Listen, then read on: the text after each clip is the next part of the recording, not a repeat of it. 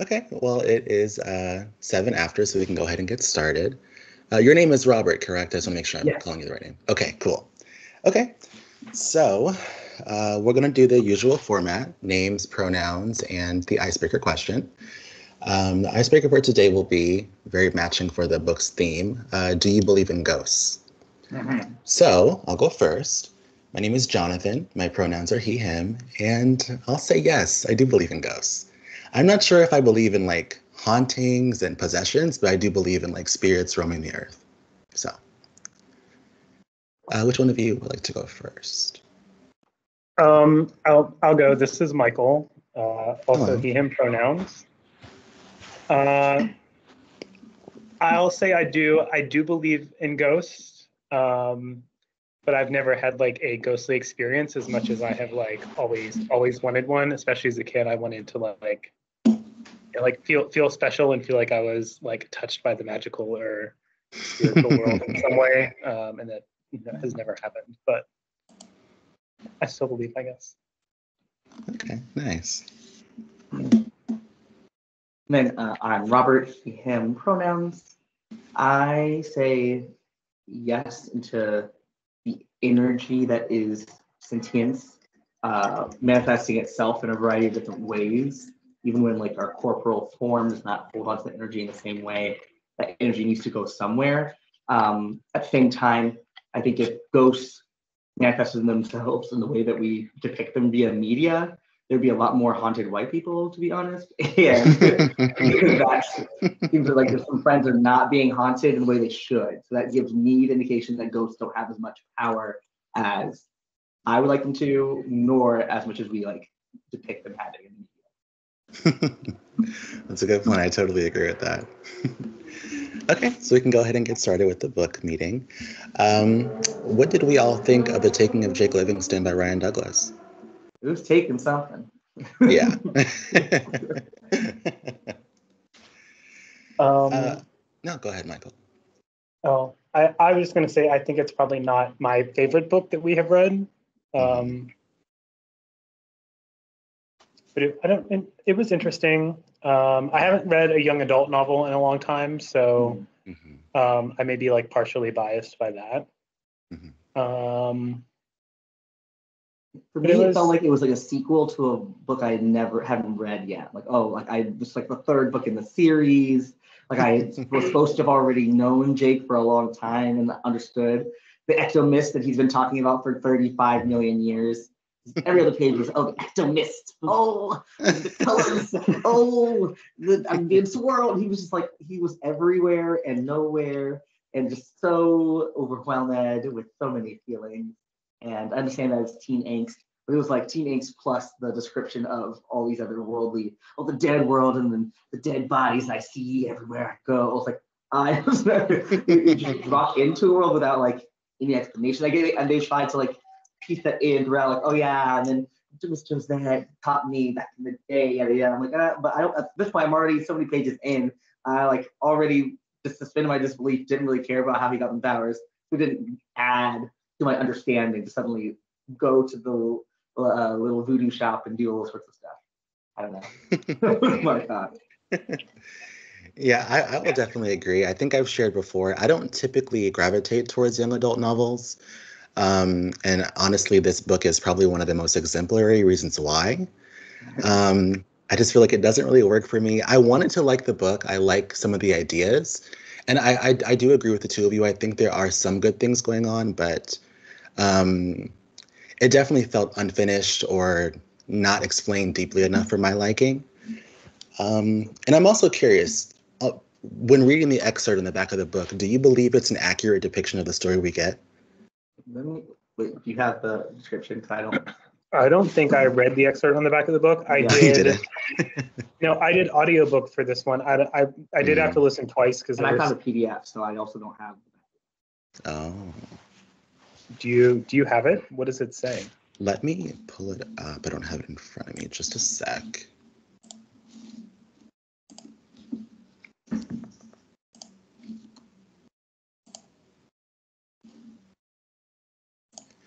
Okay.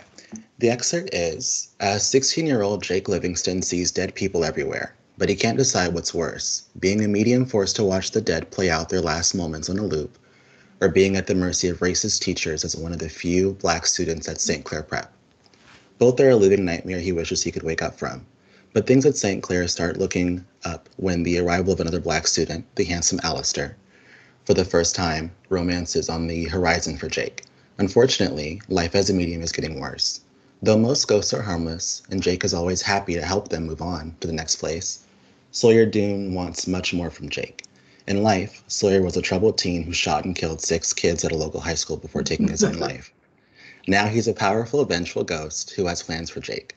Suddenly, everything Jake knows about Dead World goes out the world, goes out the window, as Sawyer begins to haunt him. High school soon turns into a different kind of survival game, one Jake is not sure he can win. I mean, yes, accurate. Also, a lot for a synopsis Yeah. of a. Um, Yeah. but I also don't think it's like yeah, yes, Jake is like by definition a medium and that a person Mhm. that can observe both spaces. But he barely helped anyone the whole. yeah. Sort of helped River, kind of. River mostly helps herself. And the rest of the time, he's just whining about, oh, yeah, there's a ghost over there. Ooh, there's a ghoul over there. Ooh, the wraiths, here they come. It's like- it's just more more tormented than mediuming for most of the book. Mhm. I do. That was our. No, go ahead. Go ahead. Sorry. No, go ahead. Oh, I would say I do kind of wish that I I had read that before I read the book. Um, because I, I think um, Robert made a comment about the like world building, feeling like we kind of got dropped into it. Uh, but even I'm I'm really glad I like went through it twice because there's so much that I like it it made more sense going through the second time because I did not for the longest time I thought everyone was having these like same experiences that Jake did and that like everyone saw ghosts everywhere. And I was like, this is a really kind of like fantastical place and everyone is I, just, every I thought everyone went to a is school or like a magic school, like oh, it'd be six sons dying of PE, and he keeps dying over and over, like oh, this is like a magical school. People like die and they wake back up, and uh, like you know, yeah, I very much understand that. that that that would have helped me. Um, I don't know that I to like answer your original question, though, Jonathan. I don't know that I think that that synopsis is like the best description of the Mhm. of the book. I don't know that like I really found the teachers being No, she was racist Explicitly- He was calling him a slave, and she didn't do anything. oh And the principal was like, "Oh, you stabbed us other student," which he stabbed him through the hand with a pencil.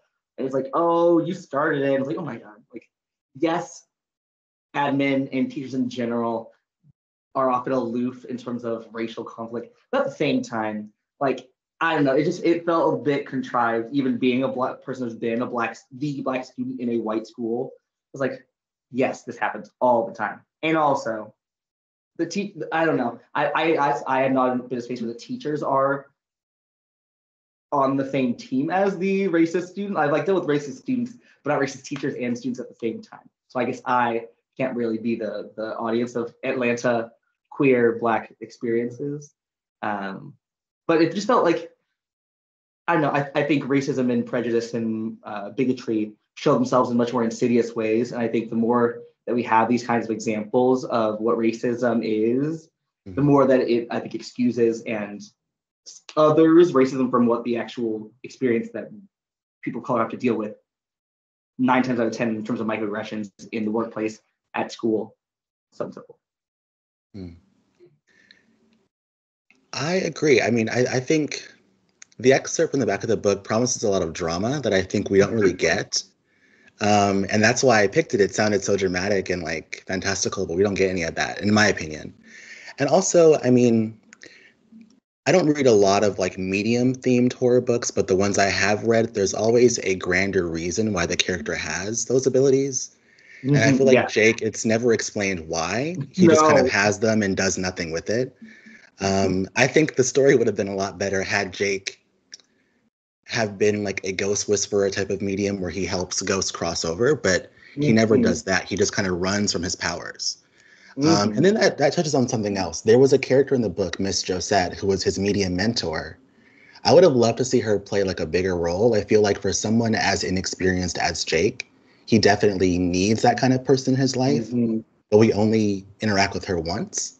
And I Mhm. thought that was so strange and like such a missed opportunity for him to like grow. Um, either one of you notice that with the Miss Josette? No, character? absolutely. It was like, okay, Yeah. she got Dr. Emmett like magical Negro whisperer for five seconds. Oh, young Padawan, you must use your powers and tell him to leave. And then she, she leaves. And he never, never.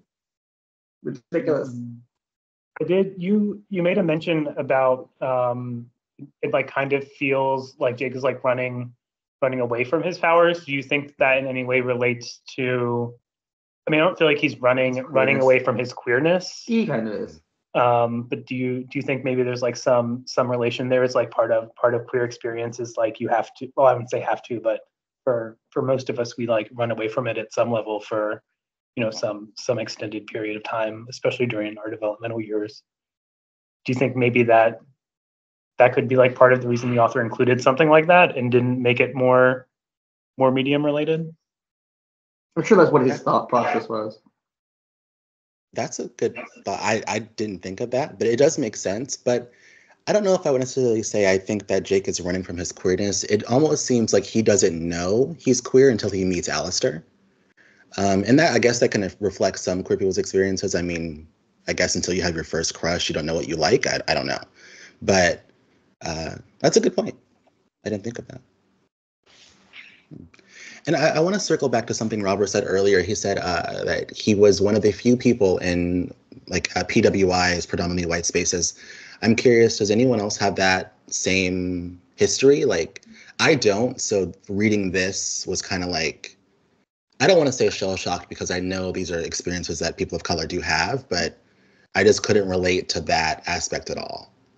Uh, did you, Um, i mean i i do because i'm from like a i'm, I'm from a state that is like upper 90s percent white but Mhm. um you know again i'm i'm very fair skinned i'm in the place that i live now i am i'm essentially white passing where i grew where i grew up i was not um so i do I, I do kind of get that but i am i am curious since you mentioned that like i find it strange for this to be set in the suburbs of atlanta which is like one of the Mhm. blackest cities in the whole country Mhm. um Mhm. And have Jake be the only black character outside of his family and and Alistair for for the entire book. Like it just it seems not not real to me or like why why intentionally choose and mention so many times that it's in Atlanta and not just say like like I, I don't I don't know a, like a very white city off the top of my head. Like why why not why not put it somewhere else where that would make a little a little bit more sense? Or did that did that stand out to you at all? Yes, uh, I, I honestly, I mean, at least in my mind, my reading experience, I feel like I only really paid attention to the setting being in Atlanta once.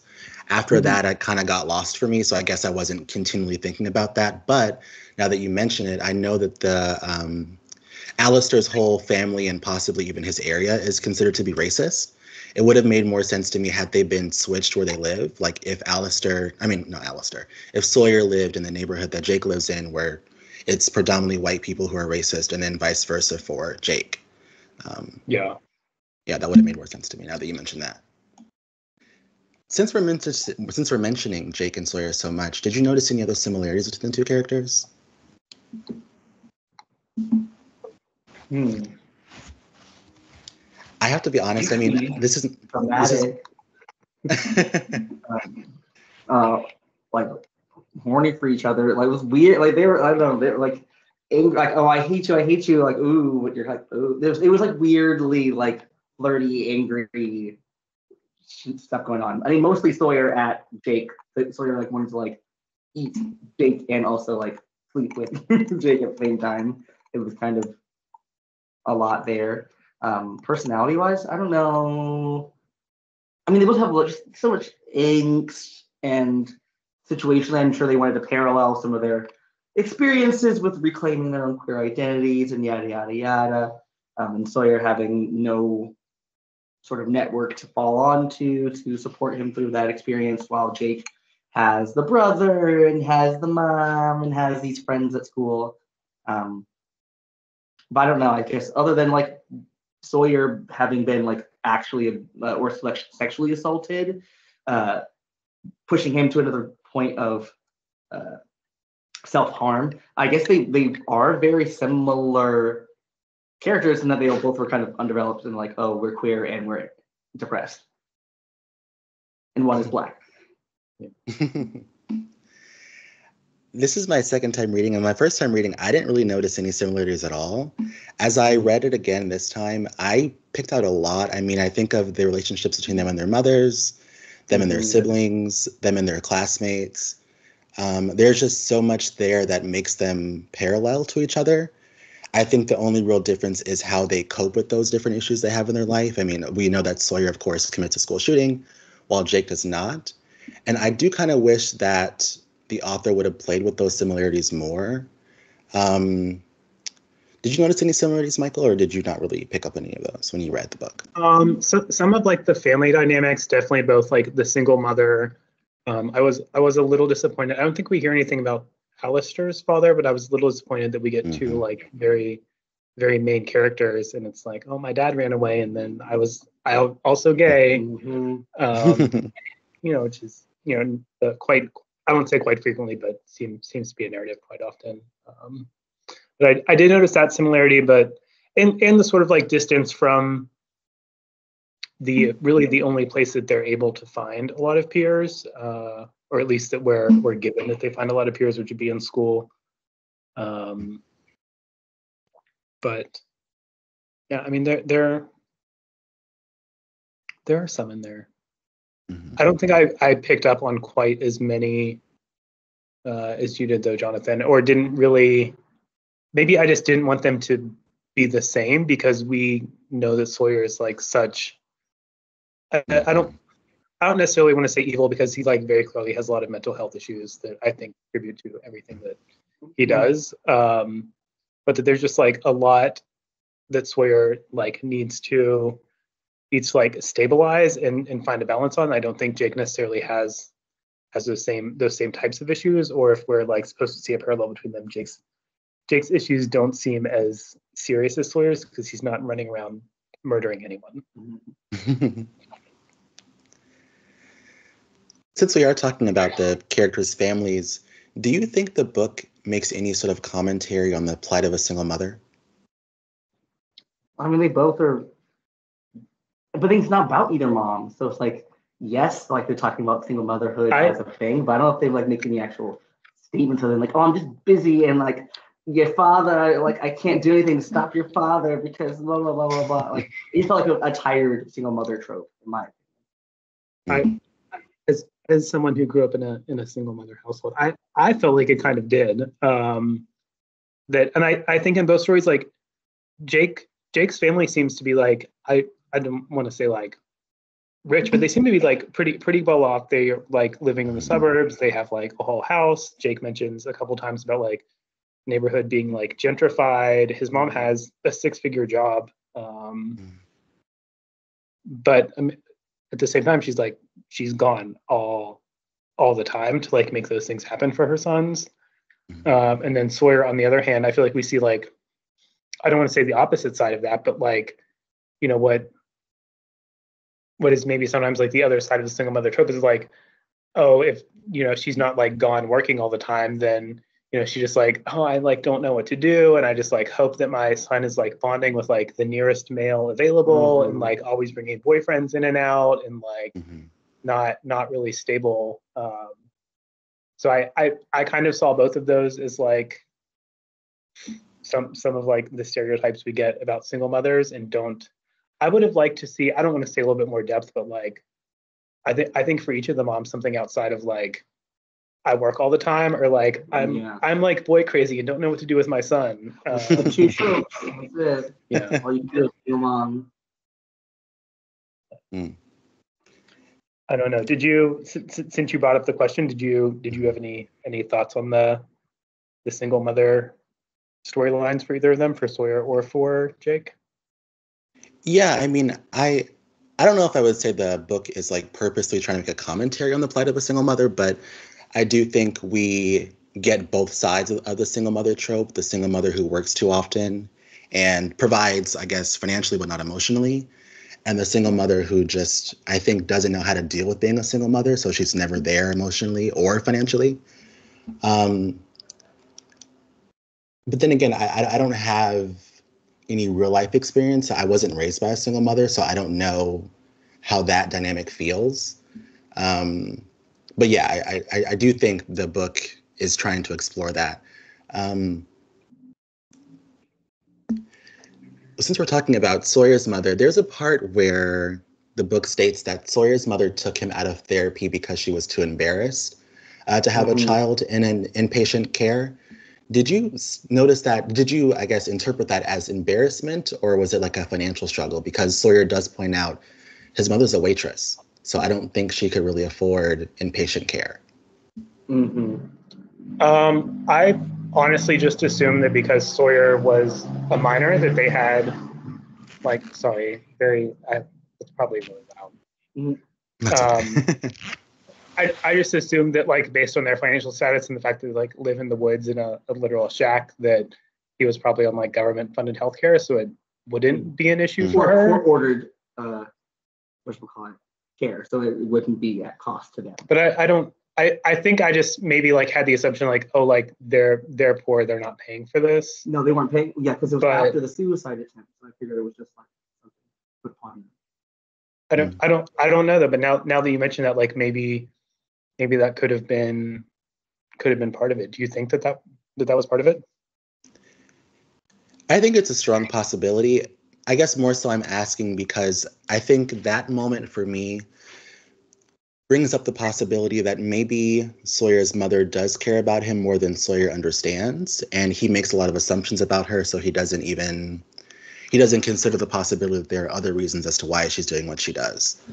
Um, which I guess that's pretty common for a child. I mean, not having adult experience, you wouldn't understand certain adult decisions, but um, but yeah, I, I think I mean you guys have a good point that it probably is government funded health insurance, so that would obviously help with that. But I mean, a, a, lot of a lot of people reading may not may not realize that or or add that. So that mm. I don't know. Now, now now that you mentioned it, I'm not sure. There's I I put like my own you know assumptions and and lived experience into there, but um, that may that may may not be the case. This is I uh, I'm trying to figure out how to say this properly. Um, there is an, uh, an interview that I saw uh, by Ryan Douglass, the author, where he says he intentionally wrote Sawyer as evil, like essentially born evil, and then his his uh, struggles kind of exacerbate his evilness, so to speak. Mm-hmm. Did you, I guess, upon first meeting Sawyer, did you interpret him as being evil or misunderstood? I wanted to hope it was not lazy writing. I feel like writing an evil character is just such mm-hmm. lazy. Mm-hmm writing. Yeah. Especially yeah. for a young age. unless unless you're writing a like Disney movie, and even those Disney villains like still have depth and usually have some sort of rationale. Sawyer, I didn't see Sawyer as wholly evil. I, I mean, school shooter was like okay, like there's gonna be some sort of rationale, but I just think he's just underdeveloped, not really like holistically evil. Yeah, I I also don't know that I would have like ever interpreted him as evil and like hearing the author say that and then knowing how how much like explicit narrative we get about Sawyer having like such strong and deep mental health issues mm-hmm. and just like the violence put on him. Yeah, and a lot of like being being a victim of sexual abuse and then like, you know, mm-hmm. also being like physically and socially isolated from everybody. Uh mm-hmm. like I don't it's too it's too, I I attributed everything bad that Sawyer did to like his his environment and what Absolutely. and what had happened to him, and did not in any way assume that he was like born born born, born evil. Yeah, but, and then to say born evil, and then then also stack all that other stuff on top, like it doesn't feel mm-hmm. necessary for me for you to say like born born evil and then add add all those other things on. I think born evil would make more sense if Sawyer was like you know, like grew, grew up in the suburbs and you know like had no no family issues and then still turned out to be you know this like really really violent murderous person but because of the way that we or because of the character development that we get for Sawyer I don't I don't want to like give him that narrative of born evil because it's not like not fair at all for all the things that have happened to him but I don't. I I. I agree. I, I also agree. this is this is one of the one of the books too where like I you know a, a lot of times you will like send send stuff in the chats and I I really like like dig into some of that stuff and I didn't Mhm. do any extra research this time. I think I did see that this was I think Ryan Douglass's first novel if I'm correct. Yes. Um like out outside of that I didn't like I didn't do any research other than like see that a picture of him and assume that he was I, I guess I, I assumed he was gay, um, and I think I saw that he is black. Watch that'd be really funny if he's not. Um, but yeah, I, di- I didn't like do any any digging outside of that, so that kind of throws me throws me for a little bit of a loop when you say that. But what do you, what, did- what did you what did you think about that when you when you read that? I was very surprised. I mean, in my own readings, the, the first time and this time reading the book, I thought that Sawyer was incredibly sympathetic. I mean, I honestly felt bad for him. Of course, I'm not trying to condone what he did, obviously, but I just felt incredibly bad for him. I thought he was a character that had a really like rough go of life. Um, I thought in a lot of ways he was misunderstood. I thought in a lot of ways the people responsible for his care weren't doing it to the best of their abilities um, and that's kind of what flipped the switch into like making him this uh, this school shooter. Um, but I I don't agree. I don't think that Sawyer, at least in my opinion, comes off as purely evil at all. Um, and that leads me into another thing. When I read the reviews for the book, a lot of people were angry that Sawyer was sympathetic and not purely evil. Do you think the book would have been strengthened to making him purely evil? I know that we both we all agree that like it would have been lazy writing, but what do you think of that? That anger of having this character do something so awful be sympathetic? Um, I'm I'm not sure, but now that you mentioned that, that like just further strengthens my other comment. Like, he's not. I don't. Maybe Ryan Douglass says he is, but like you, if someone was written to be so like evil, they wouldn't have any any remorse or Yeah. or feelings or care or consideration for anybody. Um, like it just it doesn't make sense to have any of that sympathy unless you're using it for self gain, which I don't think Sawyer is in this case. Like it doesn't make sense for him to be. Mhm. Um, I don't. I don't know. Now, now you're making me like question question everything I assumed and like had. Author, developed yeah. about uh, Sawyer in my head. Yeah, and and about the author. Um, Mhm. I'm, I'm not sure. What what did you? How how did you react seeing all that? Um, it was disappointing, I guess, to say the least. But to be fair, I mean, I know that in more recent years we have had a lot of real life school shootings, so I understand people's anger of uh, about an author trying to sympathize someone that does something as horrible as that. But I think in real life and in literature, we have to understand that characters like this, or I should say, people like this, uh, tend to have a lot of mental health struggles. And while I don't think that Ryan Douglass is shoehorning any of uh, any of Sawyer's struggles in there to condone what he's done. I think it's just important to understand his backstory. Um, and I think a lot of people don't have the willingness to understand people or characters um, like Sawyer. Um, so I mean, the anger about that makes sense in some ways, but I don't. I don't agree with it. And I think, I think, to our point earlier, that if Ryan Douglass would have just made Sawyer purely evil, it would have kind of ruined the whole book for me because the strength of the book is Sawyer's backstory and is Sawyer's uh, I don't want to say like turn to madness, but his his his explosion, I guess, made a lot more. It felt more impactful to me, having read his struggles and his life story. Yeah, I am I am curious. Um, as as we talk about some of the stuff about Sawyer, do you think there's a reason that he like Ryan Douglass made the choice for Sawyer to be to be a school shooter? Like it it feels like very a very specific choice. Um, like Sawyer could have been he could have been a kleptomaniac. He could have been like a car thief. He could have I don't I don't school shooter is like really really intentional specific stereotype that we have uh, of like you know like the the lonely uh, most of the time almost always guy that's like misunderstood or like maybe kind of like fall, falls into some some other sort of like like isolated stereotype um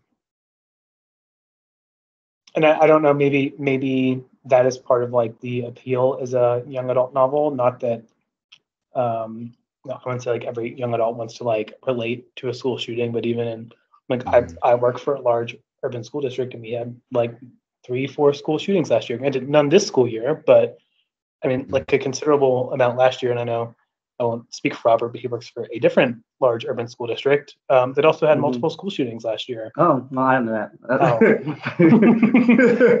uh, I guess it's fair. I mean, yeah, we're still in a world where we have to deal with lockdown drills and all that sorts of stuff. We had our lockdown drill last week as well. For I teach third grade, and so we had to practice getting these third graders to stop joking around and talking, treating everything as a joke.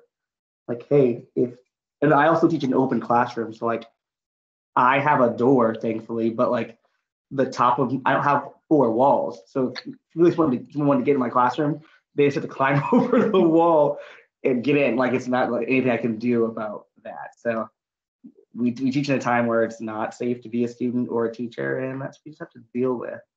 Um, and I think again, lazy writing to just have like, okay, he's white and gay and different, so he's gonna get his violence out by being a school shooter and shooting people that didn't do anything, like River. That was so.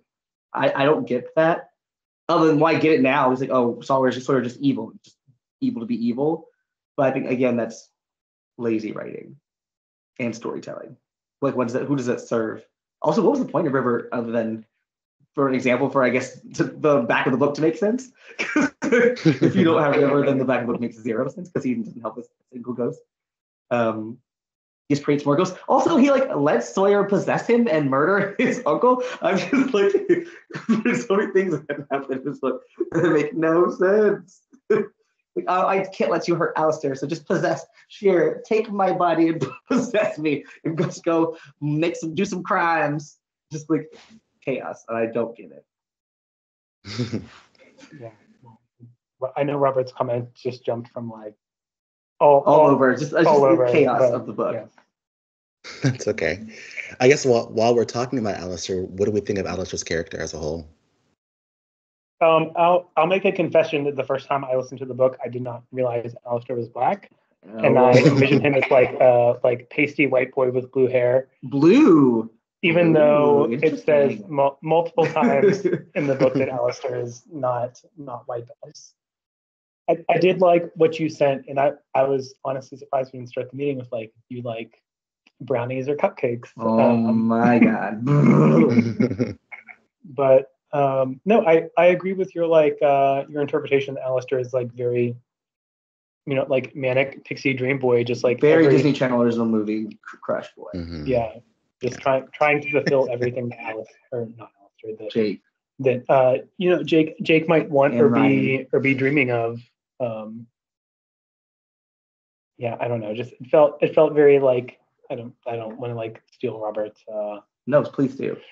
thing. but Yes, it did feel very like like Disney Channel original movie kind of like like this character like swooping in and Mhm. I don't know. I don't know that he added for me. I don't know that Alistair added a lot to the story aside from just being like a a way to like make Jake experience his his queerness and his um the second time reading through his like his blackness and connection to being both of those things um in in a way that we like get to actually and like see see develop um I just I don't know. Alistair to me almost felt like a reason for for Jake to to be gay in the book. Mhm. Mhm. But I don't know. What do you what what did you think? I knew I knew you had some strong strong thoughts about uh Alistair in the Discord. Yeah, I I guess to to uh, to mimic all of you guys. I mean, I, I agree that he does feel very much Disney Channel original book character, um, and he's definitely a manic pixie. I feel like the back of the book promises more of like a romantic element between Alistair and Jake because he's mentioned by name in the book excerpt, but he's not really present for most of the story. He only is in it for like maybe two or three scenes, um, and even those scenes I felt like they weren't really romantic. I mean, yes, there is the moment where they go on their first quote unquote date, and there is the moment in the car. But outside of that, I didn't really understand where all these romantic feelings came from, especially from No. Alistair's perspective, because Jake doesn't even really talk to him much. Alistair is the one like leading all of their interactions. So what what would make uh, what would make Alistair develop feelings for Jake? I didn't really make sense to me at all. Yeah, and I, that's one part of the book that I do believe. He's like, "You have a crush on me? Why?" I'm like, Yeah. Jake, good question. because I don't get it either. Yeah. It's like, oh, you you you talk to ghosts. That's a good reason to. I'm like, are you sure, Alistair? That's, that's good enough reason. And I think there was, I, I don't know that I caught this either time, but I think Robert made a comment earlier that like there's a point where Alistair says like, "Oh, Jake, your body's like so hot or something," and I don't know that we got any No. Any like real detail that like would, I don't know, like put put uh at did like so much like description of Jake's body to like even elicit a comment like that. Very skinny, length. Um, he's shorter than Benji. No, I thought he was taller than Benji. No, Benji's a, Oh, Benji's like a couple inches taller than him. Isn't that not the? Yeah. Anyway, I don't remember. Um, but he can he can manifest weapons with his ghost and his ancestral sword and his astral projection. There's just so many things. I did not care about the physicality or logistics of this book, but that's neither here nor there. Ectomist. they drink every time they see Ectomist. Yikes. And in, in the same interview that I mentioned, uh, where Ryan Douglass says that Sawyer's evil, he does mention that originally when he wrote the book, Jake was straight. And then even after he made Jake gay, Jake didn't have a love interest. Jake was meant to be single throughout the whole story. What So- did you add that for? Yeah. he said that, uh, I guess his decision, of course, was to make Jake gay, but the decision to add a love interest was from his publisher. That wasn't his idea. Um, so I think that explains why so much of Alistair just kind of feels shoehorned in. Like it doesn't Mm. add to the plot at all. And I'm curious, like, do you think Jake being gay and then, of course, Jake having a love interest, does that hinder the story or benefit the story in your in your opinion? I don't I don't know that it for me added added a whole lot. I mean, I think it makes it makes sense in like the aspect of like Jake already being like other or different from the people in his school. Yes. Like it enforces that otherness even like with his family, but he's already like a, a ghost whisperer. So I don't like Mhm. how how much other or different can you make him? Mhm. Um, and I think he mentions too that like even I I don't know that they give like a physical description of his mother, but they do mention that like he and Benji do not look alike at No. all. Mhm. Um, so there obviously is some like difference there. It makes me wonder like what what the mother, the other people in his family um look like and wonder if there's like some some like physical difference or like sense of otherness there too. Because I think it does mention that Jake Jake is like fairly fairly dark skinned, whereas Benji is like um, you know, not not at all. Uh but Well, also looking uh, now that I looked up Ryan Douglass, he looks exactly like the boy on the cover. They Yeah. they depicted this this character purely from his headshot. Look at his headshot. oh yeah, he does look like Jake. Yikes. Okay, well, I don't know. I think it, uh, weirdly enough, I think it did benefit the story because if he was straight, then why would I care? Step one. And step two, like, I think the Sawyer thing would have been weirder. The fact that they're both gay gives them the, like, bond that makes that conversation more grounded, I think, in a way that's helpful. If he was straight being tormented by this gay white ghost, it would be even weirder that he would up with anything that's going on.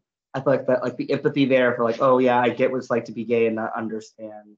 Also, that if he wasn't gay in the original and it's just like tormented for being black, and Chad just hates him for being black, and that's the whole point. He's black and nerdy, and that's the whole crux of the book.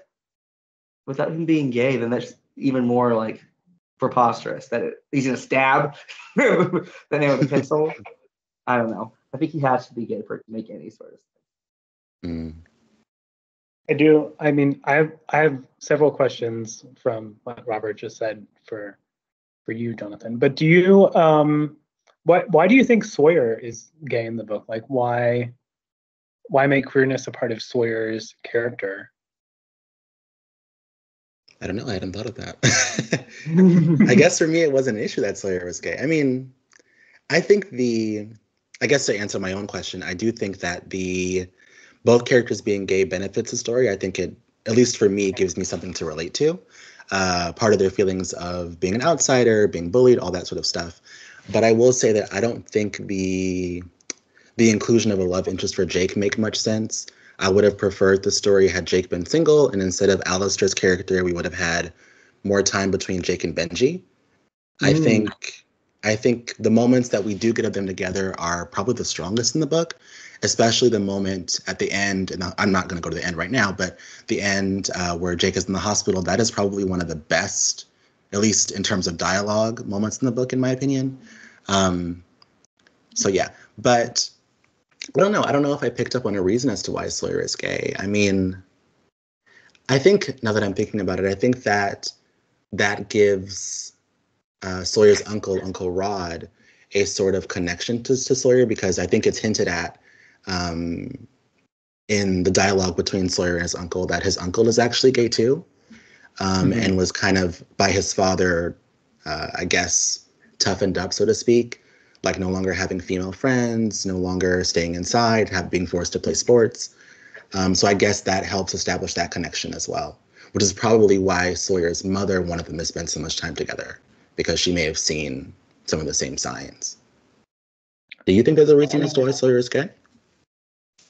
Um, I don't. I don't know. I didn't really really think about that. I kind of I interpreted the mother like pushing Sawyer towards the uncle so much as just as part of like the single mother stereotype but um i mean i know i definitely like picked up on the part where even though the uncle never explicitly said that he's gay where he's like you know all, all my friends were girls when i was in kindergarten or whatever and i was like well like we we understand what this means um.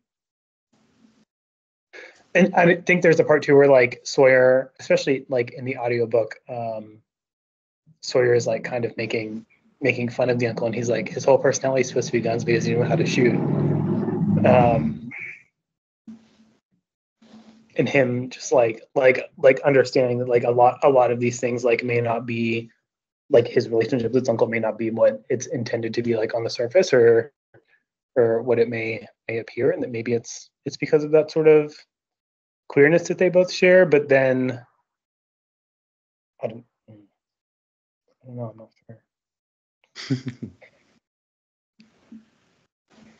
you said you had some other questions. What were your other questions? I'm curious.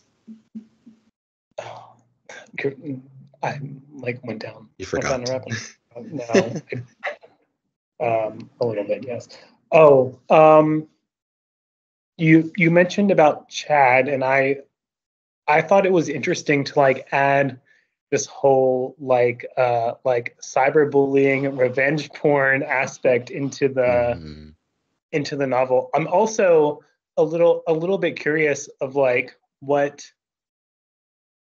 so like we i feel like we get some i, I don't want to say like stereotypes about benji but like you know it's it's nice to have a little bit of like a contrast like jake as a character but then for his brother to be like so different in so many ways. And then of course he like, you know, he has to be like this like, you know, like black jock womanizer, drug dealer for no and, reason, and, and, and a drug dealer for, no, for, no, reason. Again, like their, their mother is a pilot who's a six-year job in the suburbs. Um, mm-hmm. like of course, of, of course, Benji has to be like, you know, like again, like Robert said, like the the black drug dealer, jock womanizer, mm-hmm. and then and then like the revenge porn on top of it, and then cheating with Chad's girlfriend um did you i'm curious if you thought that like this whole like ghost doing revenge porn cyberbullying aspect was necessary in this story or like how how did you and then of course like benji taking that out on on jake and destroying like all of jake's like treasured treasured little trinkets which is another thing that i have a question about um so like not to compound seven seven questions in one but um, one one how do you feel about benji and a lot of the stereotypes that are thrown on him? Two do you think that the like cyberbullying revenge porn was necessary in the story? And in three like all of these like trinkets that jake has and treasures and then benji destroying them in response um, do you feel that that is like in any way like Benji rejecting Jake's queerness or like like having and loving these like you know like a glass what like a glass elephant and like an incense jar and all these things like sort of in, inherently gay things and that by him destroying them he's like rejecting Jake's queerness in any way? Hmm. Sorry, I, I, I know that's again mul- multiple questions in one, but all all all related to the same incident. So I hope it makes sense to group them. But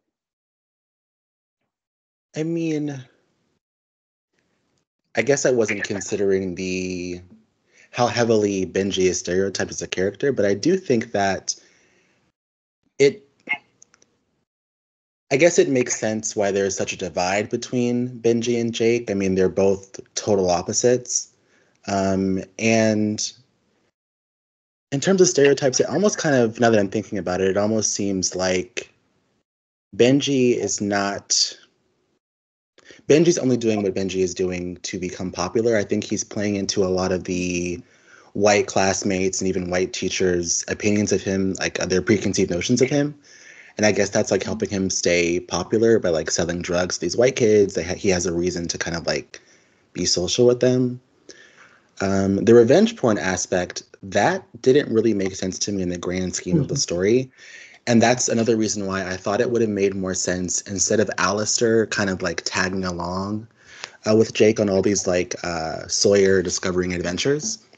It would have been Benji, because I think if I was Benji and my brother who sees ghosts told me I didn't do what a ghost did, I would have said, okay, prove it.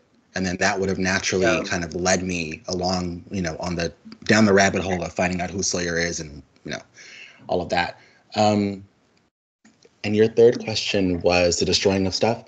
I mean, I don't know if I would say the things he destroyed are traditionally queer like items like elephants and incense I mean, I guess I do love incense, so maybe it is. But uh, I, I, look at those things as you do too.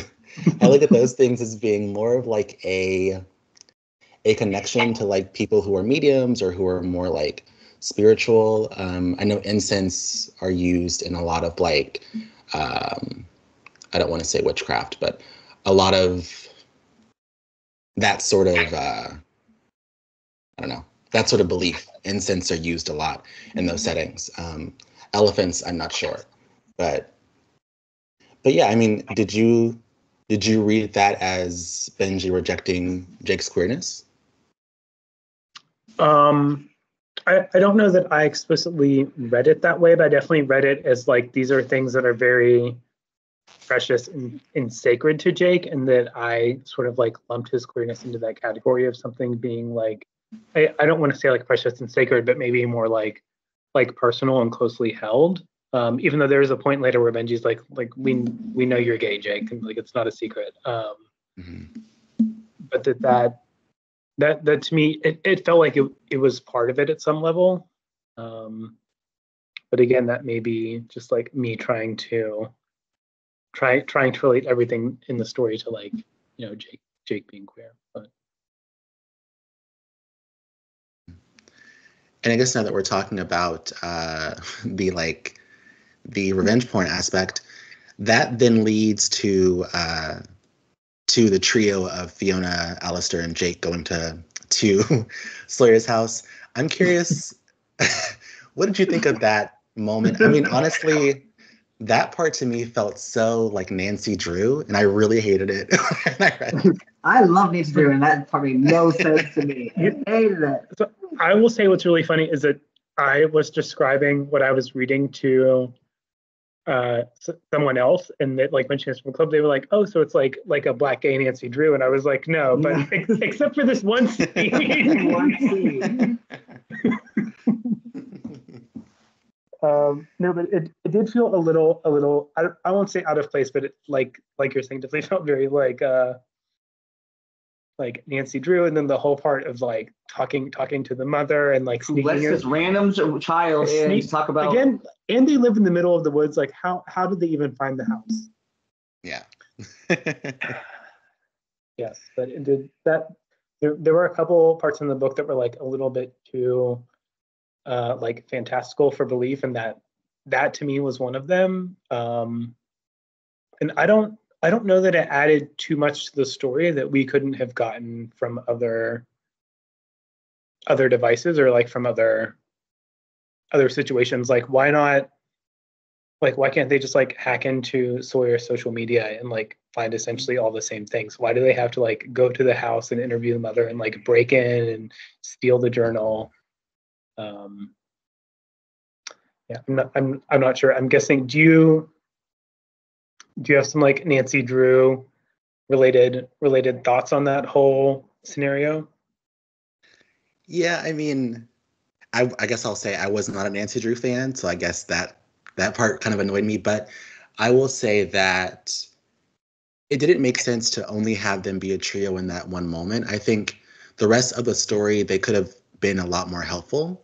I mean, mm-hmm. why only have them assist him once and then everything else he does by himself? And then he says it's because because he's too afraid of like getting them hurt, but they already are involved in it. So it's like you should have thought of that before getting them involved. I mean, that just didn't mm-hmm. make sense. Not and then I guess even to go back a little bit uh, before that part, when he tells Alistair that he can see ghosts, Alistair just kind of believes it. He's like, "Yep." Which he's just so cool. He's just so hot and cool. And I mean, I understand why Fiona believed it because she says that her grandmother used to be able to see ghosts. But mm-hmm. for Alistair to just believe it makes zero sense to me at all. With like no proof, no sort of backstory, just I can see ghosts. Okay. Like, you, as, do you think? I, I I was also annoyed by that, but like for me, part of like the I will say world world building and some very like uh loose quotes and just how liberal you know Ryan Douglass is with like Jake being in this like ectoplasm. I see ghosts. There's like death loops. Blah blah blah. Mm. It made it feel to me like, especially at the beginning of the book, and especially in my first read, that this was like a normal, a normal thing. Everyone gets it. Do you mm-hmm. think maybe part of that is like we're supposed to understand that like oh like a lot of people know that like there's like mediums and people that just like walk around seeing people like jump out of windows and kill themselves every day. Um, and, they, and, they, and they just deal with it and like don't live with like too much trauma and it's just normal and mm-hmm. we're surrounded by ectoplasm and and ghosts. Ectomist sorry. Uh, and you know whatever like these these ghostly things that are everywhere and some of us just don't see it and some of us do and that's perfectly fine. Do you do you think that that may be like like part of that or did you have any any interpretation or did you get any sense of like we're supposed to believe this is like a really a really normal thing that everyone like understands and gets? Or or do you think that like is specific to like this this collection this like trio of characters? I didn't necessarily get that but i mean i will say my first time reading and this time as well i felt the world building was lacking like totally um I was so confused. We don't get any sort of reasoning as to why Jake has the powers, and like no one in his family believes him. It's like it would have made more sense had they said, okay, Jake's grandmother or his grandfather or whatever, and then we have some sort of context and like as to why Jake has the powers, but he just kind of has them for no reason, which makes sense. He does nothing with them, which makes sense, which makes no sense. Um, and yeah, I, I mean, I'll say just the world building was totally lacking. But in the same interview, again to reference that interview, uh, Ryan Douglass does say the book was originally meant to be t- uh, 200,000 words longer. No. And that, and, and that was all of Jake's backstory. Uh, no. So all of Jake's what? backstory was cut out. And that was a decision by the publishers. Um, Good. And he couldn't fight it. what do you mean backstory? what, what, what other backstory yeah. for the ghosts? oh my God and I, I mean that just kind of uh, that was upsetting. I mean, I think that we definitely, I mean, my opinion, we needed that, you know, to kind of understand Jake more. Um, but without it, it feels like Sawyer is our main character because we learn so much about him and so little about Jake, which mm-hmm. obviously is not the intention of the book. And it unfortunately made me like Sawyer more, or not necessarily mm-hmm. like him, but think he's a stronger character and that's totally. upsetting because that is our white character and not our co- character of color. And i shouldn't mm-hmm. be walking away from a book centering blackness liking the white character more. Yeah. So that ugh, i hated that. But i guess to defend ryan douglass that was not his decision. As to why the world building is the way it is. Yeah I, yeah. Yeah. I I would have kept the world. Well, hmm, I think it definitely didn't need to be two hundred thousand words longer, or however many words he cut. But he definitely could have given us more of a rationale in like Mhm. if there's no reason to go to Josette without some sort of like grounding. And as you said, I think it would have been helpful if he had been based in helping people the entire Mhm. novel, and that was his thing, rather than just kind of just watching things happen his entire life. But I guess that's also the point, and at least what Ryan thought the point was like, oh, I'm just letting life happen to me for 500 million pages, and then finally, the last two pages, I'm gonna kiss Alistair, and I'm gonna take him by the chest and taste his menthol mouth and kiss him on a brick wall in an alley. And if someone sees me and kills me, then I'll die in a loop on a wall against this brick wall, and I won't care. The end. Like, uh, I yeah, I guess, but I don't know if that's the message I want to send to teen queers, but that's Mhm. the message that Ryan Douglass thought was okay. and I, I guess it's it's also shocking to me knowing how long Jake has known about his powers, how little he understands, because it's revealed that he knew his powers as early as five. And he's, I believe, 16 or 17 when we meet him. So it's like out of those 12, 11 years, you know nothing. No, he's Do watching. you do you feel that Jake is in general just kind of like lazy about his potential and his abilities? Not Mm. not even specifically here, but there is, I mean, both, and again, like to again to add to the Benji stereotype, like you know, Mahila is like, um, also like, why does her name have to be Mahila? Mahalia, oh my gosh, the Yeah. girlfriend. Oh my god. Yeah. Um, but like the part where she's like, oh, again, of course, like adding his stereotype, like, and he's high all the time, and he's like not applying to college. Um, Mhm. But then like for Jake, it's like kind of the same thing where Jake is like, oh, like I don't I don't think I have to go to college. I don't think I have to like really apply to schools. Like Jake doesn't seem dumb. And I think it mentions at one point, like, um, you know, he's not he's not like an A student, but he's still like he's he's still passing, Mm, obviously. mm. Um but just in general, I think we get the sense a couple times that Jake is just kind of like I don't I don't want to say lazy, but like not fully invested in digging into things that could really like help him reach his full potential. And this is like one of one of those examples. Like he could be, you know, I don't I don't know, he could be like a celebrity medium. He could Mhm. Jake could really essentially do whatever he wants with these like magical powers that apparently no one else has. Um, but it's just like not not really embracing them. And like I feel like the same thing about school. Like if Jake tried just like five percent harder, um, or like put forth like any any bit of effort or tried to connect, even like again, I know, you know, he's he's black, he's gay, he's a ghost whisperer, um, he doesn't fit in at school but like if he like tried to like connect a little bit more and like dig in there that like there is a lot of potential for him to be super super successful. And we just see so many times of him just like not not doing that. And even like the thing with Alistair I think that there is like a part of Jake's queerness where he's like oh there's no gay people at my school. Jake lives in a very big city with a, a whole whole Atlanta. a whole whole lot of gay people um lot black gay people. yes Like, I'm the um, only one. No one ever has been gay and black before. Just me. Sure, damn.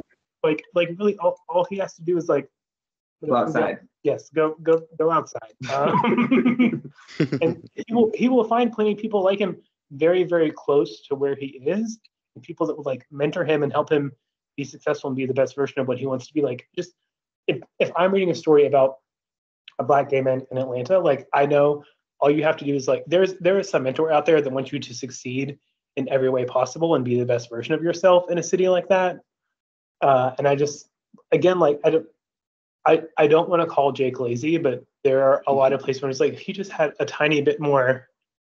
No, it's a semi autobiography. Effort. was Ryan's autobiography because he also was lazy.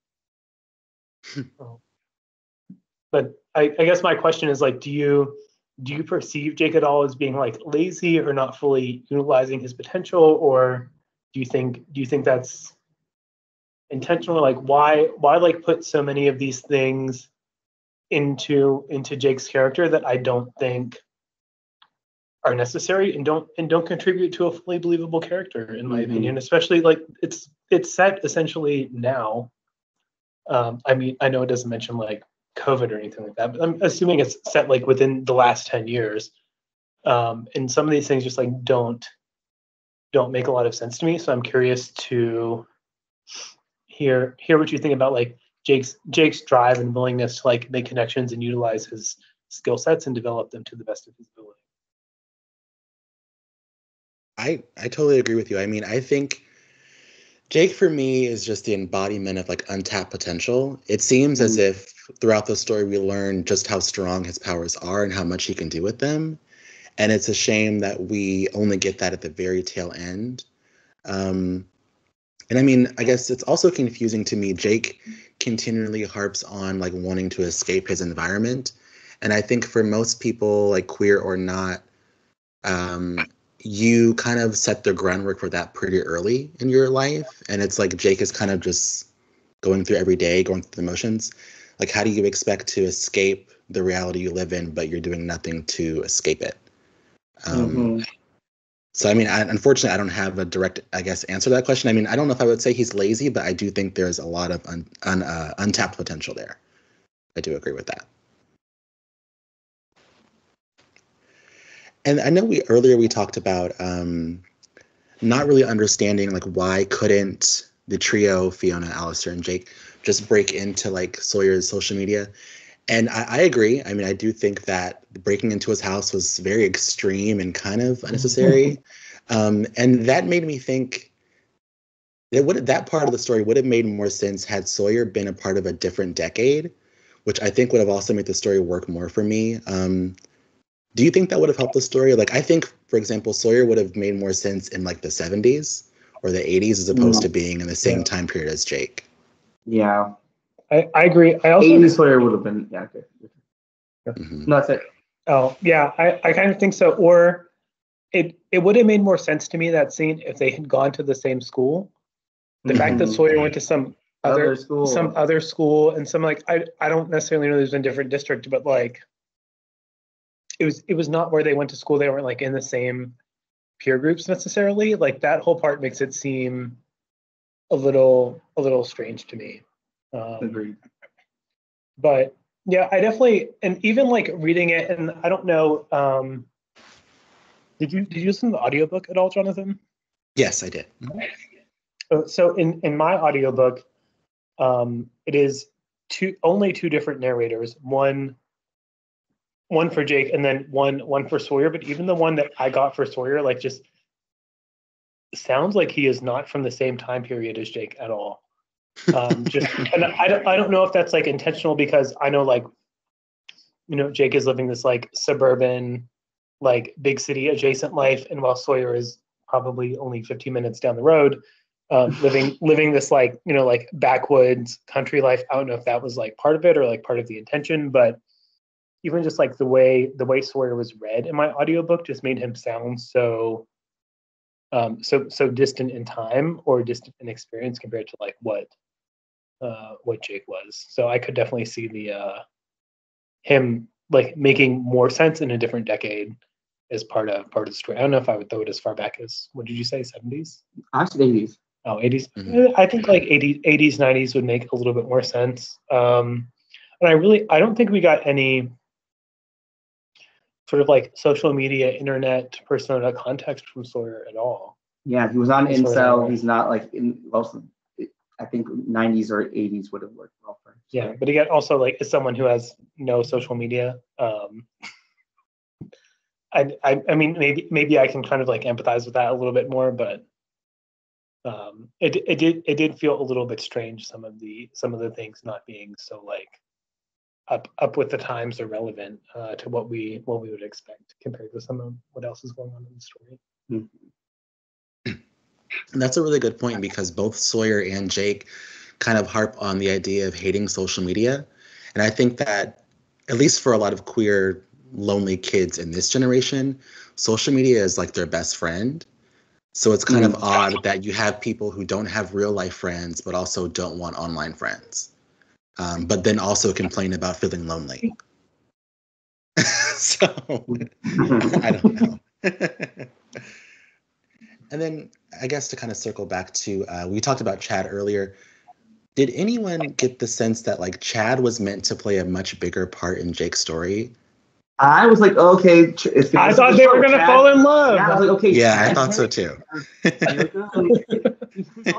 there was a false lead, like, oh, he's always looking at you. Like, okay, oh, okay, that's where it's going. So like, I'll give him that. Like, he gave us the switch out there, and all of a sudden, oh, here comes the Disney prince. Oh, you're in the bathroom. Let's let's exchange some paper towels. And, ooh, the, the auras and the, the crown of glory. Like, oh, he must be a king. I was just like, oh my god, so much. Mhm. Um, but yeah, I, th- I thought Chad was gonna do something interesting, but he was just there to fight Benji and fight Jake. Boring.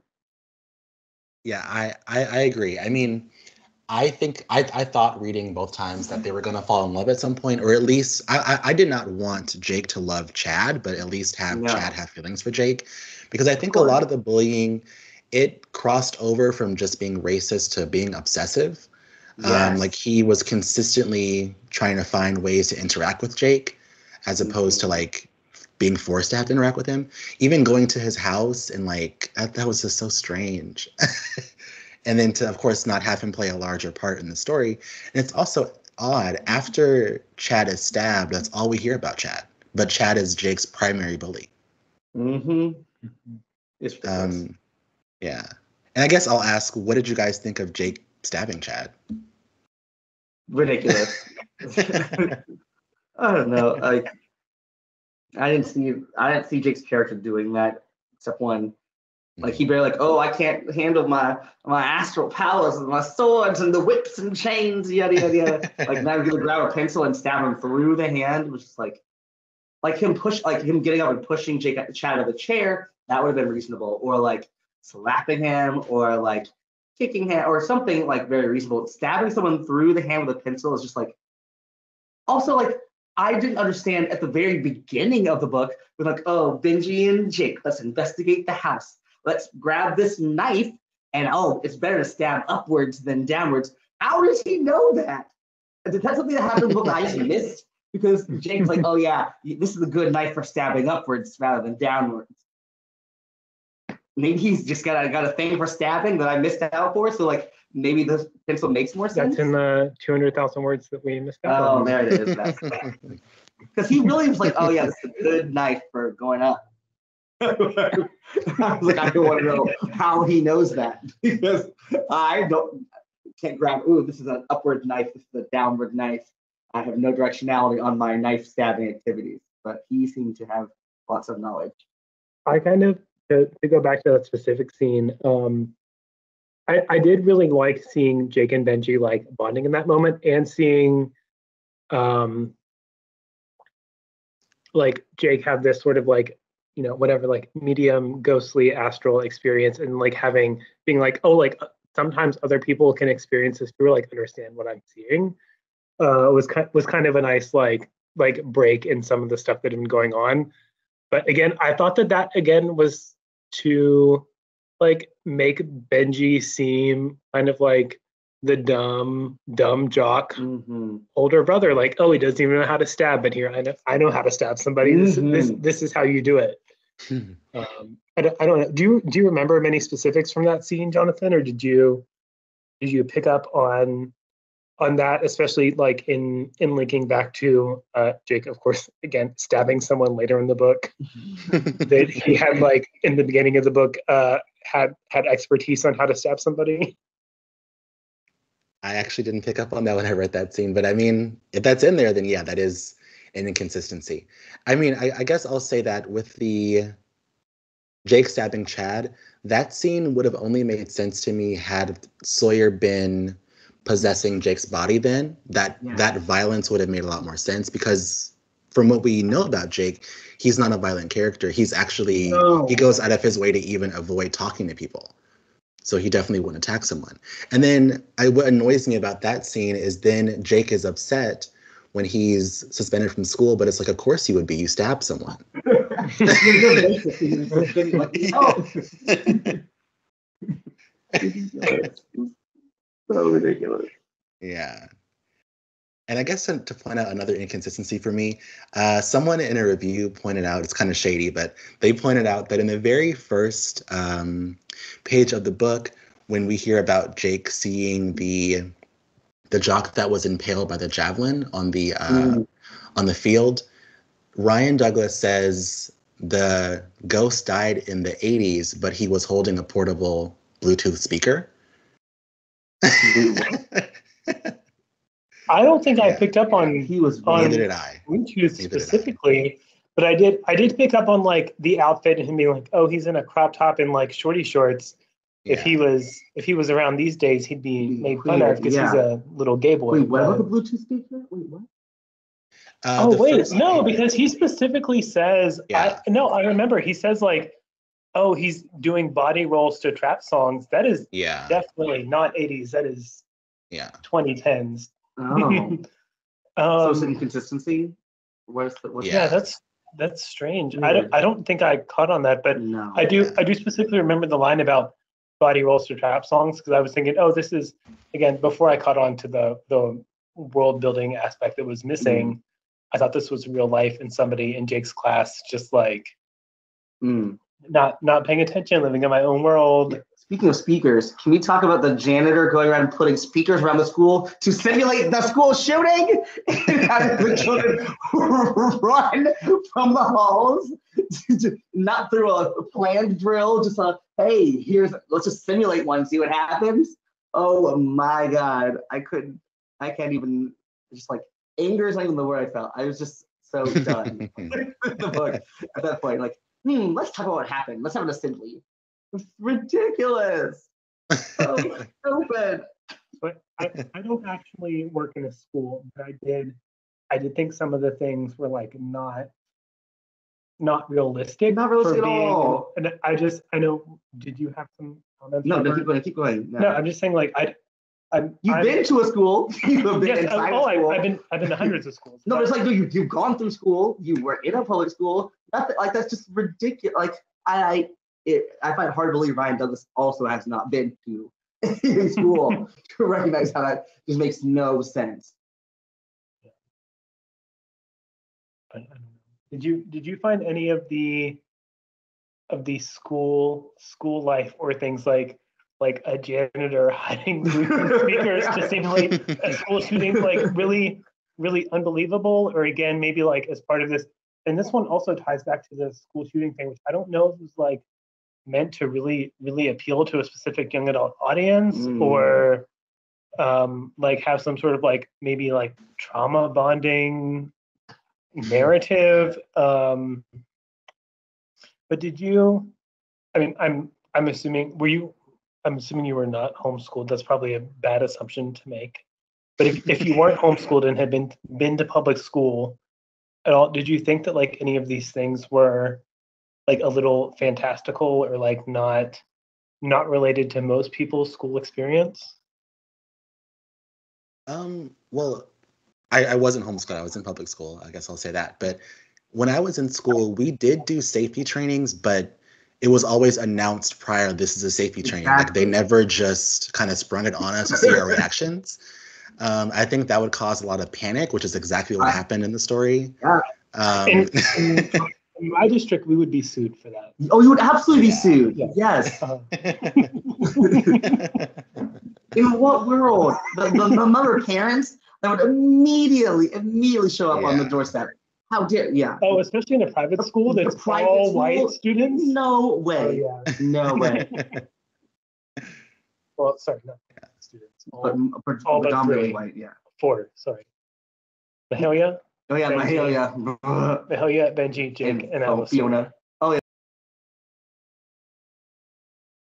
Yeah, five out of the whole school.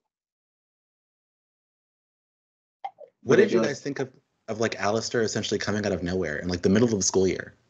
Yeah, he's just like poofed in, like, hey, here I am. Yeah. Oh, I hacked, I hacked the mainframe, and my dad, like, hey, Oh. to go in here. I forgot about that. because he was like, my dad's a cybersecurity professional, and we broke, broke into the school's database and so that I didn't get my acceptance letter, even though I I'd Should've really been been. accepted. Ridiculous. So, yes, too too many like strange coincidences. Um, I do.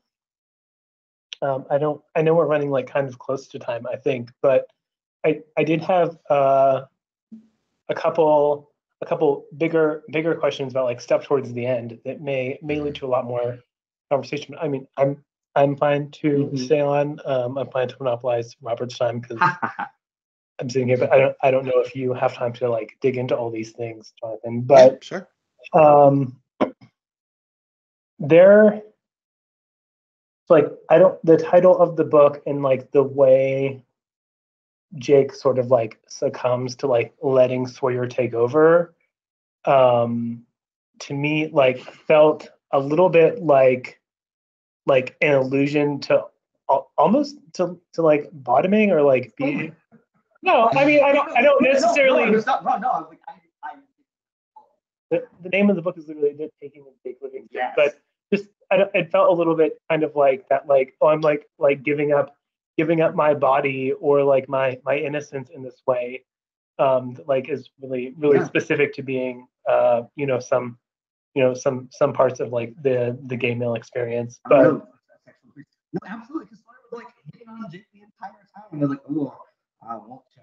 And then to like, like, oh, I'll let you have me. Like, okay, if you don't hurt Alistair, sure, I'll, I'll let you take my body. Like, I can totally see that.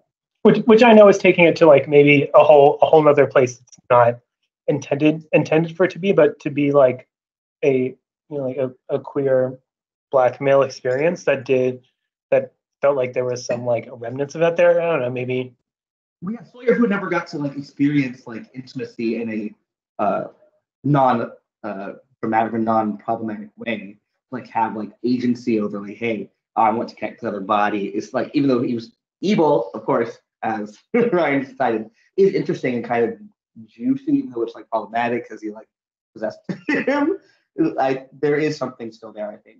yeah. A And we astute point. and we do get some like explicit parts later in the book where like Jake and Alistair are like, oh like let's let's talk about dicks. Yeah, I'm like a big dicks. Oh, dick, dick, dick. also dick, dick. like what a strange thing to throw in at the end because there's been in in my reading of the book no essentially i, I don't want to say sexuality but nothing is like so so explicit or No, physical. Yeah. and then like it felt like a lot of things at the end that we were like to maybe like jake coming into his like physical sexual Sexuality, yeah. being. Um, but i'm i'm really curious jonathan to know if you like felt any of those similar things or like picked up on anything like that or did did you have similar thoughts or you're like oh michael you're like putting way way way too much like physical sexual nonsense into the book that wasn't there I mean, I did not pick up on the aspect of the possession being about bottoming. I mean, it could be. I don't know. uh, but I, I will say the end uh, where they are talking about dicks that felt very strange, because you're Yeah. right. Yeah. There are no other mentions of like any sort of like sex or any of that. I mean, of course they're like 16, 17, but still, you know. Oh, that's true. Yeah, there is the scene with Benji and uh, Laura. I think her name is Laura. You know, even Jake's like, oh wow, like, I would never do Yeah. that. Like, oh no, yeah. Yeah. And all of a sudden it's like, yeah, dicks, dicks, dicks. I'm like, oh no, too much. and then to have that conversation and then go go right into Jake saying he's never been kissed before is kind of odd. Um, Yeah. yes yeah. Kissing in the alley. It's like it was so non like for a ro- romantic or what was supposed to be a romantic tale of these two like coming to their black queerness. is like, oh, let me pull you to the alley and kiss against the wall. It was just like it was so lackluster for especially for a teen novel where it can be anything and like it's supposed to be like fireworks and like foot pops and like those sorts of things. It felt very seedy and kind of still like he was controlled by shame, which was kind of sad. for all of them. I guess before we discuss the end of the book, I'll just ask, what did you guys think of uh, of Jake letting Sawyer kill Uncle Rod, even though Jake says he could have stopped it? ridiculous. Yeah. like even like, oh no, I gotta let him possess my body. Like you're gonna let your body stab someone, even if you're like, oh, I feel bad for this man. You, your human body is going to human jail. In what world does it make sense you're gonna let him stab this man multiple times and set his house on fire? It's ridiculous. Yeah Um, I also thought it was ridiculous, but again, like some of these things are like made me think of this like allusion to, or like maybe maybe Ryan Douglass alluding to like, oh, Jake's like letting, you know, just like you know, opening up and letting his body be controlled by someone else, and like just being a, for better or worse quote, like being lazy and laying there and like oh no. let, letting whatever happen to him and just Yeah. that's that that's kind of why why I made that comment. It wasn't to be like unnecessarily explicit or anything, but just it felt like Jake is just like, oh, like this this is what's happening to me, and like it's it's an experience, um, and I'm I'm I'm gonna like go go through it and then take take whatever I I want or need from what happens, even though I could stop it at any moment if I really needed to, but I'm just not not going to because there could be like some some like bigger bigger revelation or or feeling or um you know, like you euphoria at the end of it. And yeah no i just it again i i don't know maybe jake is being lazy. Again i don't i don't want to call him lazy but um i i didn't kind of like get that and, and maybe that's why i'm like throwing in my uh my my little comment there not not making any like comments about like any you know, whatever but uh i don't know and what what are what are your thoughts on all that jonathan I mean, that scene for me definitely was strange. Just Jake kind of letting it happen. But I think it's kind of revealed early on that Jake has at least some people in his life that he wouldn't be sad if they died. Like he does say about Chad that like if something happened to him, I wouldn't miss him. So I think maybe in Jake's mind, Uncle Rod deserved it, which I'm not I'm not going to argue against that, but it's just kind of odd he would do nothing.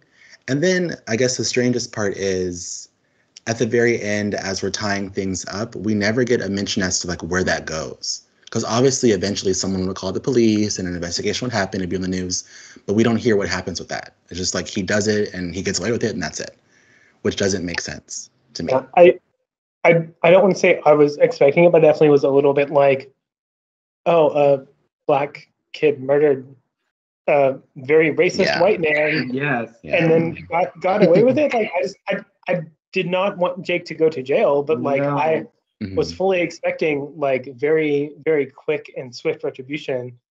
Um, again, like assuming they're like minutes outside of a major city, like a, a Ridiculous. a single house burning down in the woods 15 miles outside of Atlanta would be very easily caught by like regular regular Mhm. surveillance and then to like see someone speeding away covered in blood Mhm. in a stolen vehicle Mhm. um i don't just I, that part didn't make sense to me again like i don't i don't want jake to go to jail. Um but yes i i agree with you. Like it felt it felt very very weird for him to just be like going on with normal life as we know it at the end of the book. Mhm. i i don't want retribution but i expected some like some resolution to this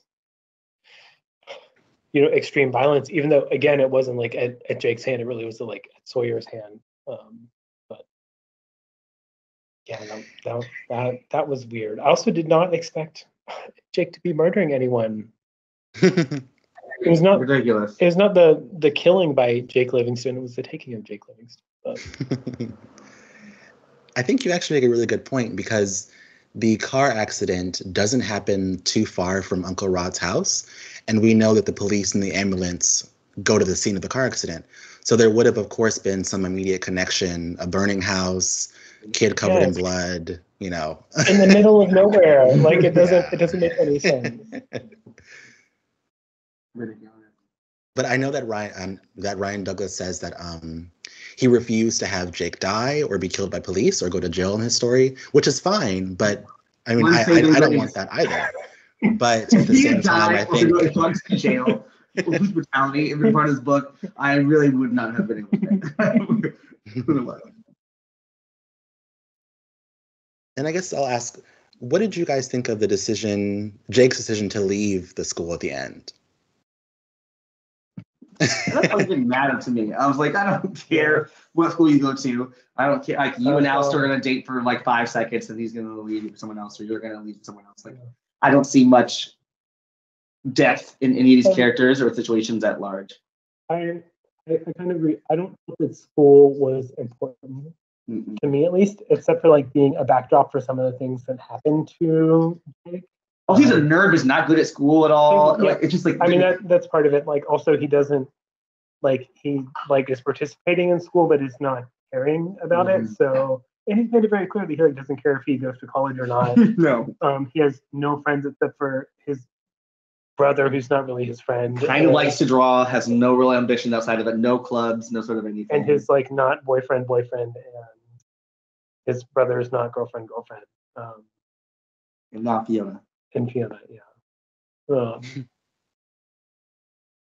yeah so i don't it like it didn't it didn't bother me that much like do it do i want to see like a, a black boy probably three credits away from graduating dropping, dropping out of school no but it, it didn't it didn't surprise me unfortunately um Mm. and I, I didn't have any strong feelings i wanted to have strong feelings about it Mm-mm. um, but I I did not, um, which is kind of sad because and then like like put it putting it in like personal a personal moment like I part, a big part of my like personal life my job is making sure that we graduate as many students as possible Mhm. um, and like just seeing seeing someone not not do that is not not fun but I don't know what what, what are what are your thoughts on on Jake and his education journey at the end. Again, you are, uh, you know, with two two education professionals, so we may have a little bit of a different or Mhm. or or stronger point of view um,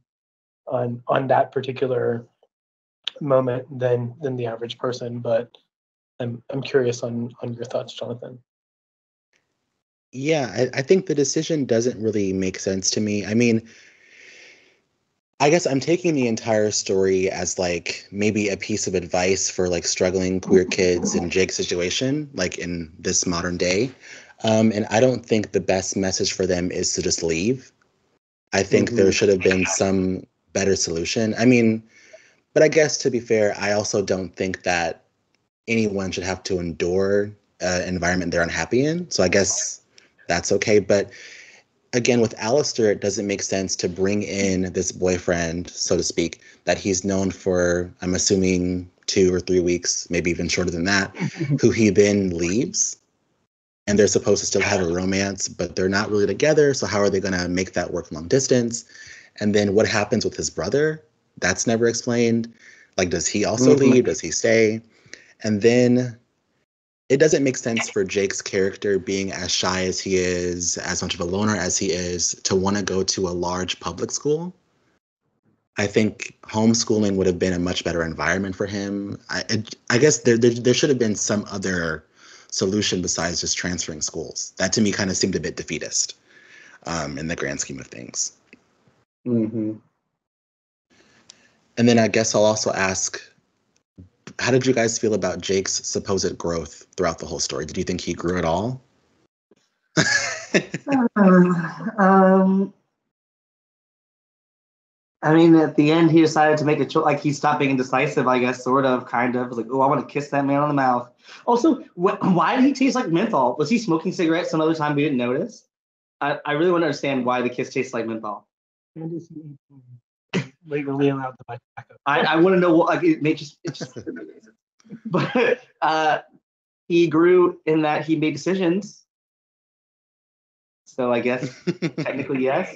but he still have no he still has no control over powers, which Ryan's like explicitly said, like, I still don't know how to control my powers. I'm like, yeah, which doesn't make any sense. I'm glad you have acknowledged that for us because we also don't understand.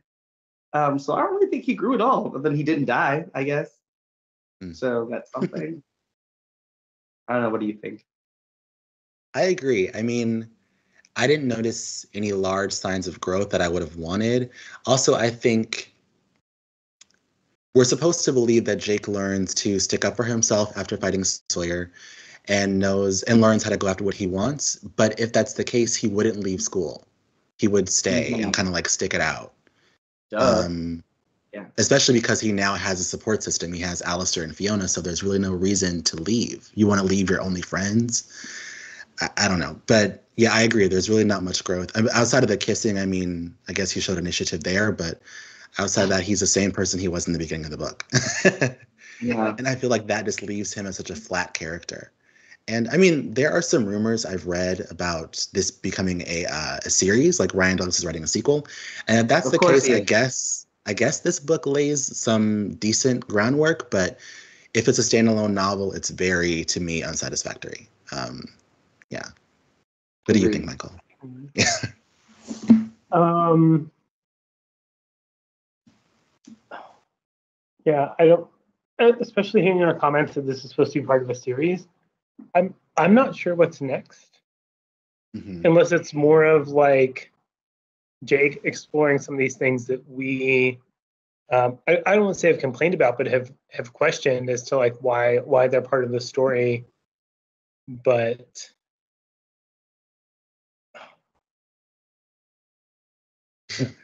Hmm.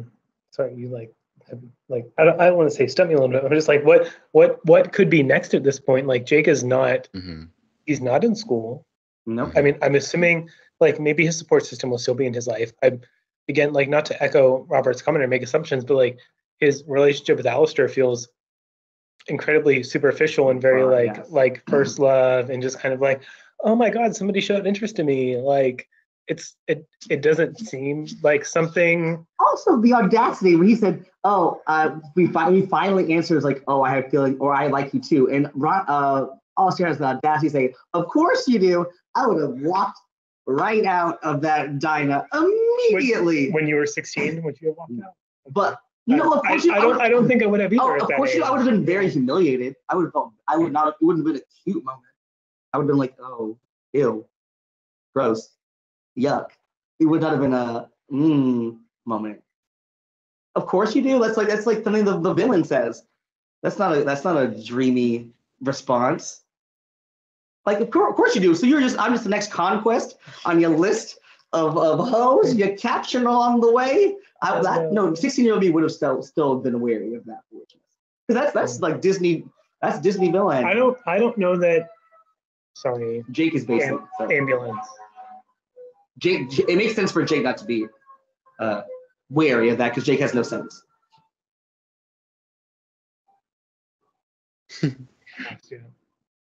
Yeah. It's leaving. Yeah, when I, when I do book club at home, I'm in my office on a secluded street next to a park, but Well, I'm on a major thoroughfare, so next to next to. Yeah. Uh, sorry. Um, I don't.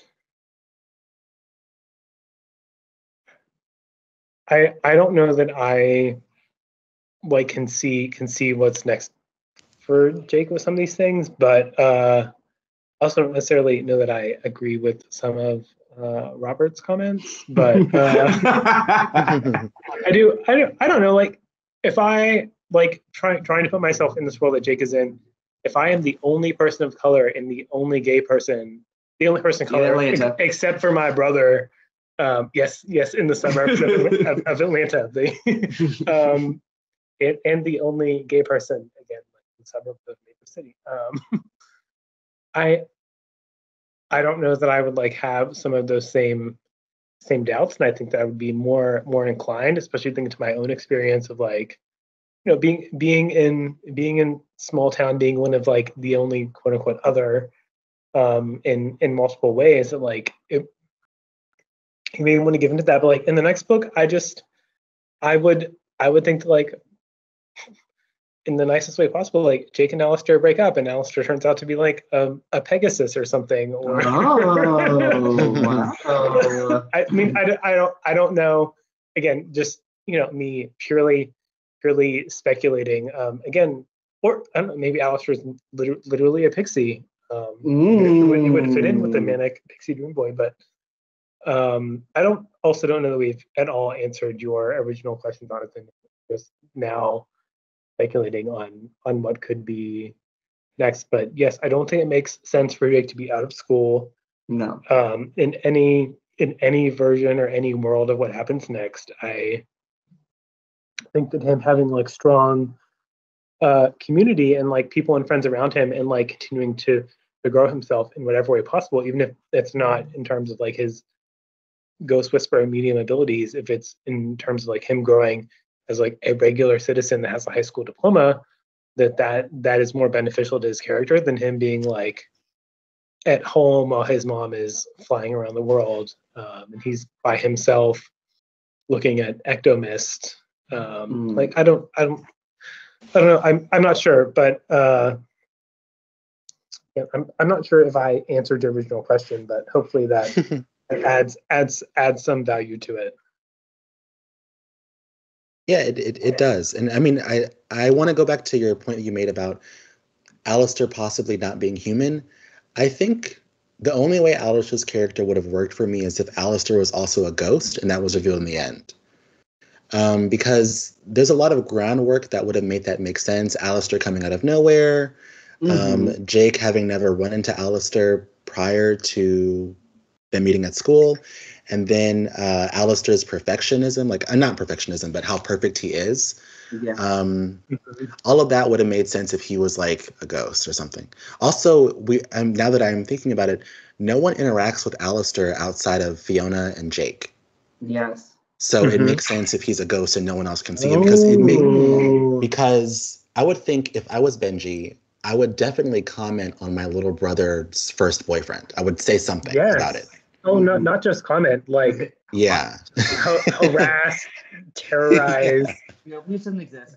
yeah Yeah. Oh, I, I respectfully don't know if I have uh, faith in Ryan or uh, Ryan to have you know crafted that kind of narrative. But if that does pop into another book, I I will give him his Mhm. his hats off because Alistair does not make sense as a character, as a human being. Mhm. So if he is some sort of fairy tale or uh, otherworldly creature, that- or a little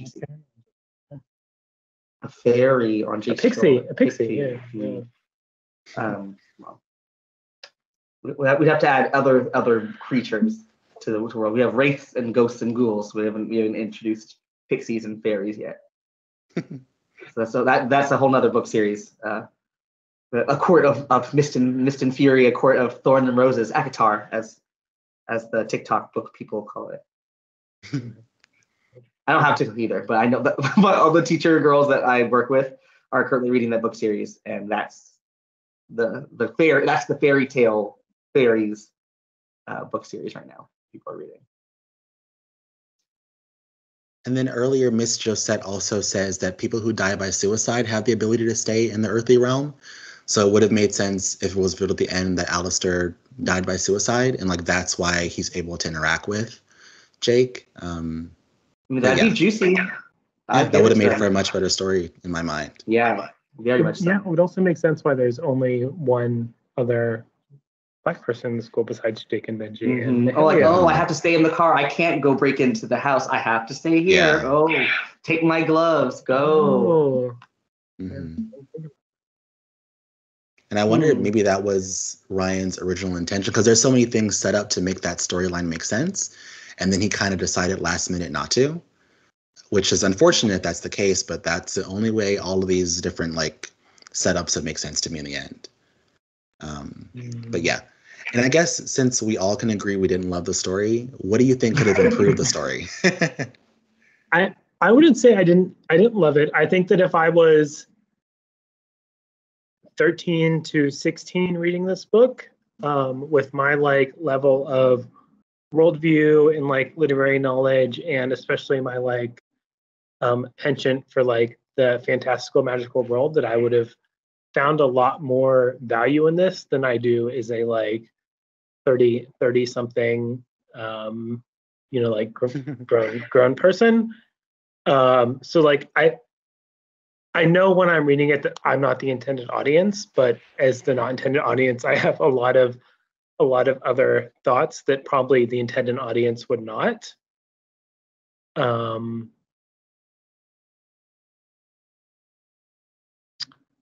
but i you, your your question is sorry before i get myself too far off track your question is Mhm. what what what would improve the story for me correct Mhm, Yes.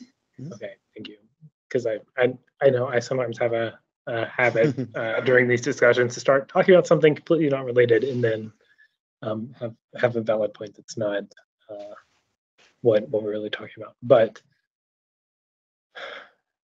I I think some sort of like resolution for more of the characters would have been more impactful for me.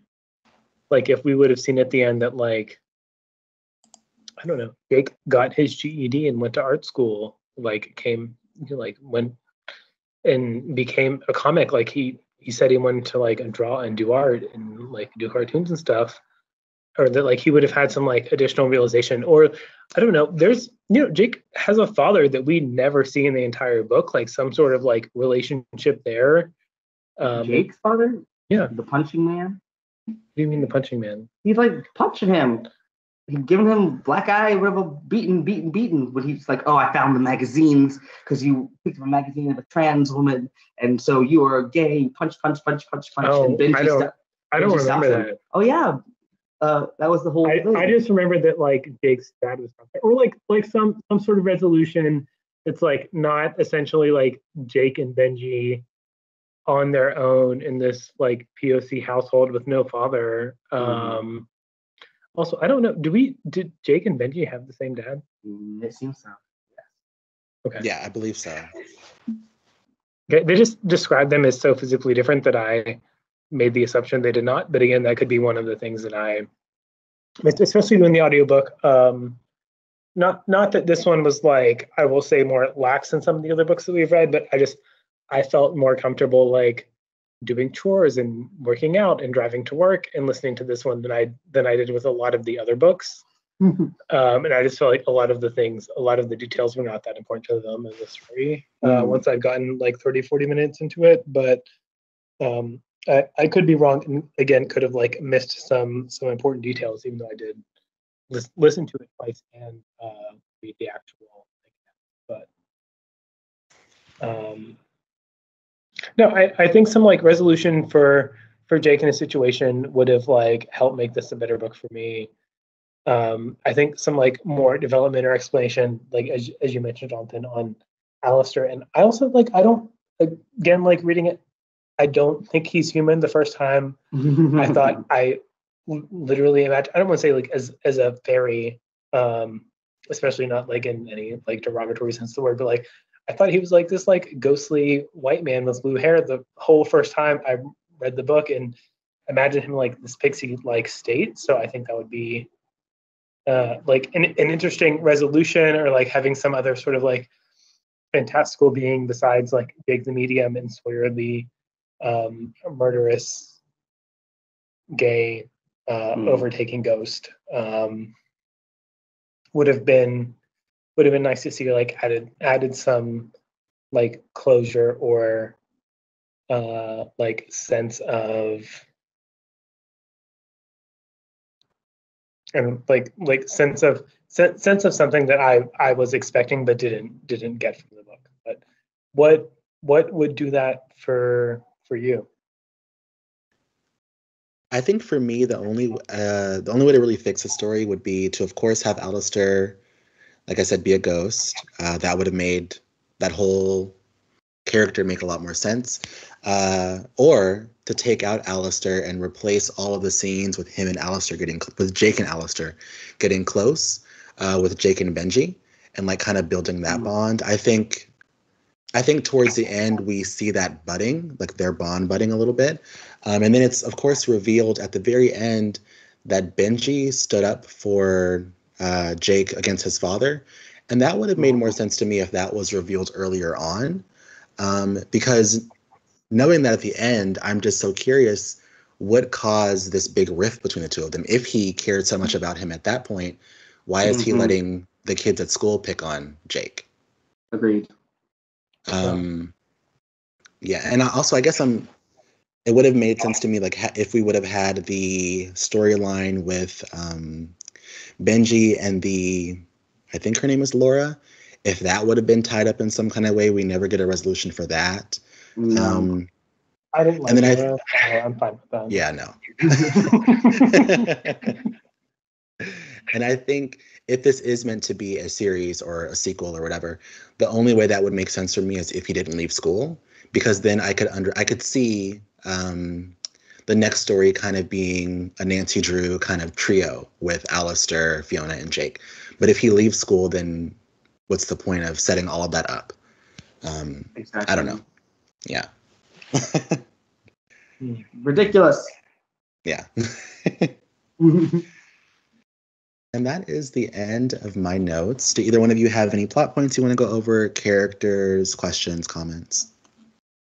Definitely, know, we we picked it apart. I think we had some good notes to give to Ryan. I think we could have picked it apart even more, but Oh, I do- certainly, but No. um, I, while I'll say this was not my favorite book that we've read, I did enjoy. Um, I, I don't want to say like the like lightness or brevity, but like the this genre in particular was a lot easier to read and especially like reflect back on now that I'm essentially twice Jake's age. Mhm. Um, I have a different point of view and can like lend some additional thoughts to the story than I would have if I was the intended audience. So I do um, appreciate that quite a bit. Um, I didn't like love the story. There was quite a lot to be desired in multiple aspects, in like character development and like relationships and world building and you know like what what happens next. Um, I would be kind of nice if this was part of a series. I don't want to do like a whole like Twilight version of Jake Livingston. I don't know that I would enjoy that, but um, you know, if there is if there is something more, it might it might help me. I, I don't want to say like have some appreciation for the story because I you know I again like it's n- no small feat to write a whole novel, but when Ryan, Ryan Douglass did did his thing, even if we didn't love it, but um, so if you are listening to our YouTube um, th- thank you, but uh, um, I, I would be really curious to see see what happens next because I think there's a lot of potential for what happens next, or to amend some of the issues that we have with the characters in the story. Hmm. Uh, and that would be really, really interesting to me, um, especially if there's more of more as a fantasy lover. If there was more like uh, exploration in some of these like fantastic, fantastical aspects, like you know, like Jake being a ghost whisperer, which we don't really get a lot of as much as I wanted. Um, or you know, the potential of Alistair being some otherworldly being, or you know, like I, would- I would love if River had like a whole quarter of the book where she's like, oh, like Jake, this is like, you know, like th- this is how Ghost World works. Like, let me let me like be Mm, your guide, or like, you know, some some something like that, or like, oh, like a whole like again another quarter book, or like Mr. Set, like something like that would be, I think, really meaningful, or or maybe like more involvement in Jake's mother, and she's like, oh, actually, I'm I'm also a ghost whisperer. oh my god, That's why I'm in the sky because there's no ghost up here. Um, just I, I, I, th- I think there there there is more to be desired that could really be filled in and be meaningful and build out like a whole um, a whole series or whole or whole world that could be particularly appealing to the intended audience, but you know, again, also have some real real meaning for someone um, more like I, I don't want to generalize. I know we're all essentially the same age. Um, or or like someone in in our shoes that may may look back and be able to look with more more critical or or differential point of view. But um, I don't know. I'm I'm curious to see if there's any more for Jake Livingston. You know, as a person who ate a lot of YA queer fiction as a teen, like I was, I read every like anything that was queer in, in, in the library, I read it. I don't know. I think I think 16 or 14 or 15 or any of the teen me would have been like, girl, what on earth is going on with this book? And so I, I probably would still have read that next one if it was a series, but I would have had a lot of frustration with the character and would I don't know if I would have felt seen with Ryan's choices for the characters and the plot. Um, I, I have a question for you. I know I know Robert, you teach in an elementary school, so I don't I don't actually don't know what grade your school goes to. But if you have Yeah. like if if potentially if you were a K to eighth school and you're an eighth grader, or Jonathan, I know you mentioned that you are uh, working in healthcare. If you had a patient at some point that was maybe like in this like upper upper tweens teens age, do you think you would recommend this book to them? Robert Robert says not a chance. I'm I'm curious about you, Jonathan. I think no, simply because the two characters that I think you could possibly see yourselves in as a queer child would either be Sawyer or Jake. Sawyer is a school shooter who kills himself, and Jake runs from his problems. And Jake has a habit of like not facing his issues. I don't think either one of those things are the best messages for young queer children. And then you Um, need peer pressure at every turn. Drugs, Yeah. alcohol, sex. Yeah. yeah. Oh, I forgot about the drugs Drugs and alcohol. Yes, the drugs and alcohol. I forgot about the alcohol part too. Yes. Yes. Oh, and then him waking up being like, oh, Oh my gosh. oh, I've never been drunk before. What did I do? oh my gosh, did I do? Oh, I forgot. We Yes. talked about the whole revenge part thing. I forgot. I completely forgot yes. No, so I would not. I that. Oh respectfully would not. yeah. Yeah. Yeah, taints my view of gay yeah. I forgot I, w- I wouldn't want to suggest that book and then have that on my conscience if someone. I don't. I don't. I don't think I would either. I have in most of my teaching experience, I have taught uh, in juvenile detention. I would not want any of those kids to read this book and try and try and relate to it or um, or have a similar experience. Especially like in juvenile detention, where almost all the children are children children of color, and, and quite a few of them are are queer in some way or another Mhm. uh, in a majority white state. Like, oh no. I didn't think about how problematic some of those things are. Mhm. I, I appreciate both of your both of your points of view. okay. Well, before we uh, get off the book, is there anything else either one of you want to talk about? No, it's good. Very much appreciate No. your your well thought out notes and opinions and questions. Yeah. Thank you. You. Um, and I think the ambulance is gone, but I will I will reiterate like I do every single month. Uh, thank you, Jonathan. I really appreciate all the effort that you put into organizing the Skype and doing Mhm. the stuff on book clubs and doing the Discord. Um, because I know it's it's multiple platforms and sometimes I'm the only one that shows up. But again, uh, it means a lot to me. Also, I do I do appreciate like I really I wanted another a second meeting this month because I really enjoyed what we had last month. Um, so it it does mean a lot that you were able to dive back into the book you did in October before I joined, uh, and you were willing to have a conversation about it. So, you know, thank thank you as always. Um, and I don't know if you know this or not, but on Skype I can see what I think is a little a little picture of your face that I've never seen before, and it's a very Oh, yeah. picture. So. Oh, thank you. Um, thank you. Well, Well, yeah. I, I guess I have to say thank you to you for wanting to go back to the book because our first, this club's first meeting, when I read this book, no one showed up. So I had all these thoughts to Oh. myself. so And that's the pain. That's that's the Yeah. most Well- egregious thing of six, all. six, six months later, I'm glad you're able to get them out. yeah. These book and silence have no one to complain about with. Oh, Yeah, and I- Cool. I, don't, I don't know if Robert will read any of the next books, but um, no, I, am- no, I, no. I will say that I love I, club. I have not. I am in the middle of three other books, but I have not started Monstrilio because I was waiting until we had this conversation before I got into another book club book. Mhm. Um, but it, it, was, it was just really funny because there's another book I'm reading that I don't think was intended to be queer um, or or POC, but that's like all all I'm getting from the book as I'm reading it. Um, so maybe I'll I'll wait till I get a little bit more into it. Um, but I, I I may have a suggestion maybe for later later in the year. It's a very long book though. It's like six seven hundred pages, so Oh wow. not not not a twice a month uh, suggestion, but Mhm. I did I did appreciate this one, and again, like, thank you thank you for delving in and revisiting. And I know YA is probably not a genre that we want to jump into a whole whole lot for uh, a, a number of complicated reasons, but um, just in, in every way I can express my thanks. Just like thank you, Jonathan. I I, I enjoy book club and and what you do for it, and and the books that we read. So Absolutely. yes. Oh, thank you so much, both of you.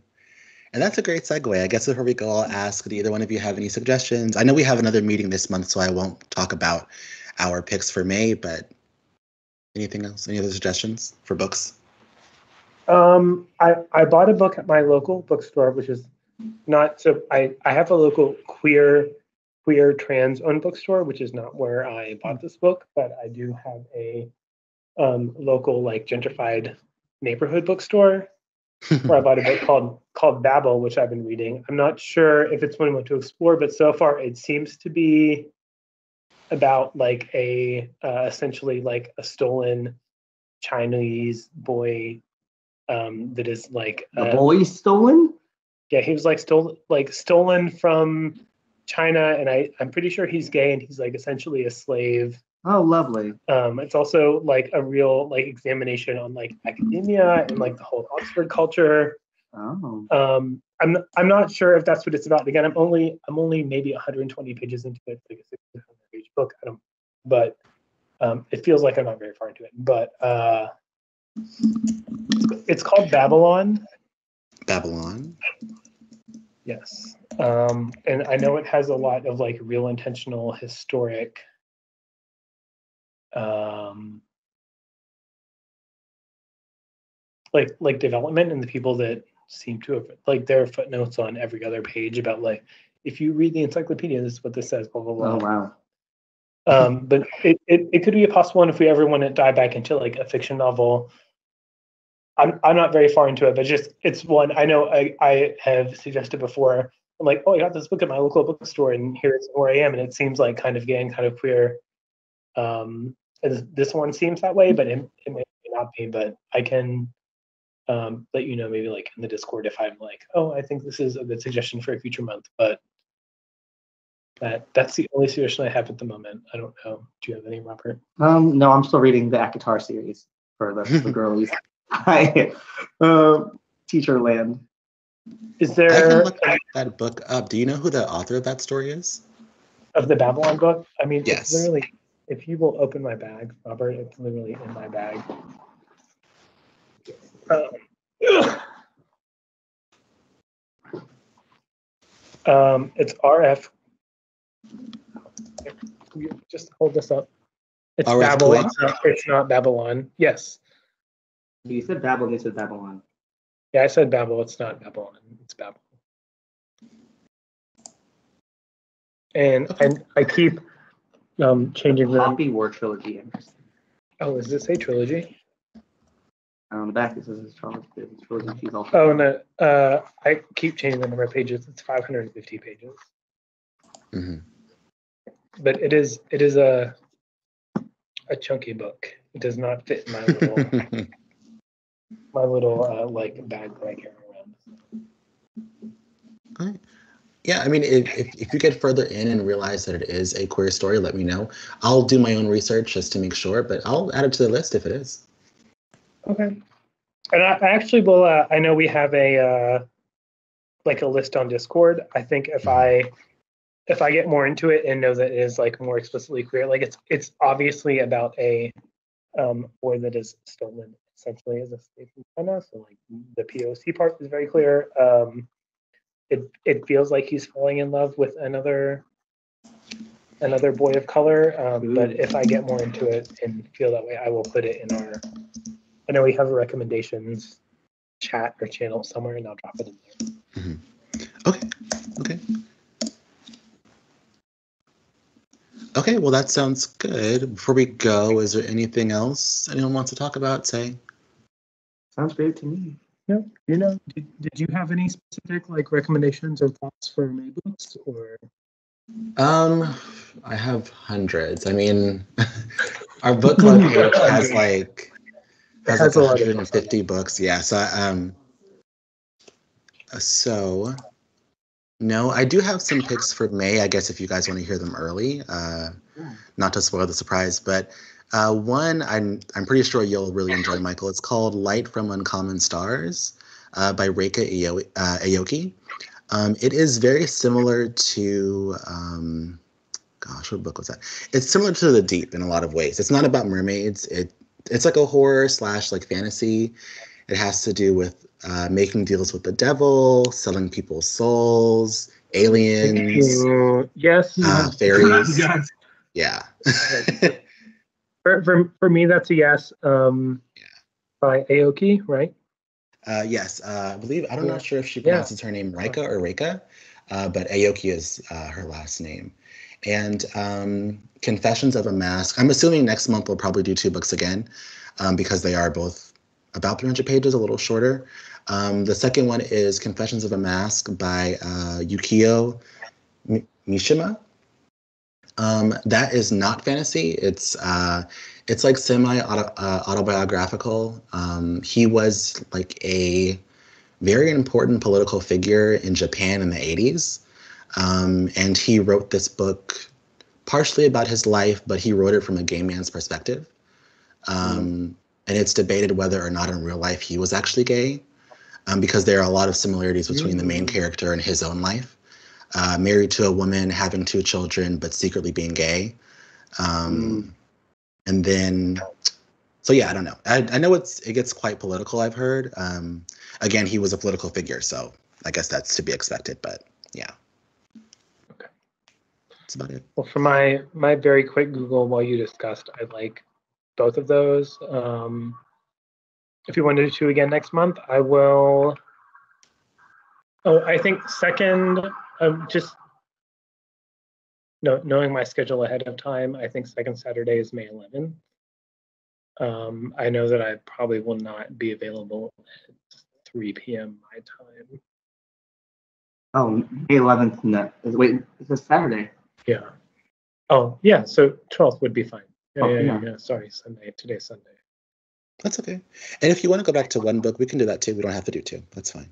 Oh, I I enjoy two. I I asked for a second one this month because I like really enjoyed the last month having two. Um, Mm. and again, I'm like trying to like recruit recruit more people, um, especially the, the those that I think will have you know like a lot a lot to uh, add to what we have to say. But no, I, if we can do two next month, that would make me happy. But you are uh, you are the boss, so that's all up to you. okay. Well, that's all I have, and I believe you said that's all you two have. So, I guess Yeah. that's it. Um, thank you both for coming, of course, and I hope to see you two again in two weeks to discuss Monstrilio. Yeah, Cool. I'm excited. Thank you. Thank you. Yes, Of course. Thank you, You both have a nice day. Bye. Bye bye.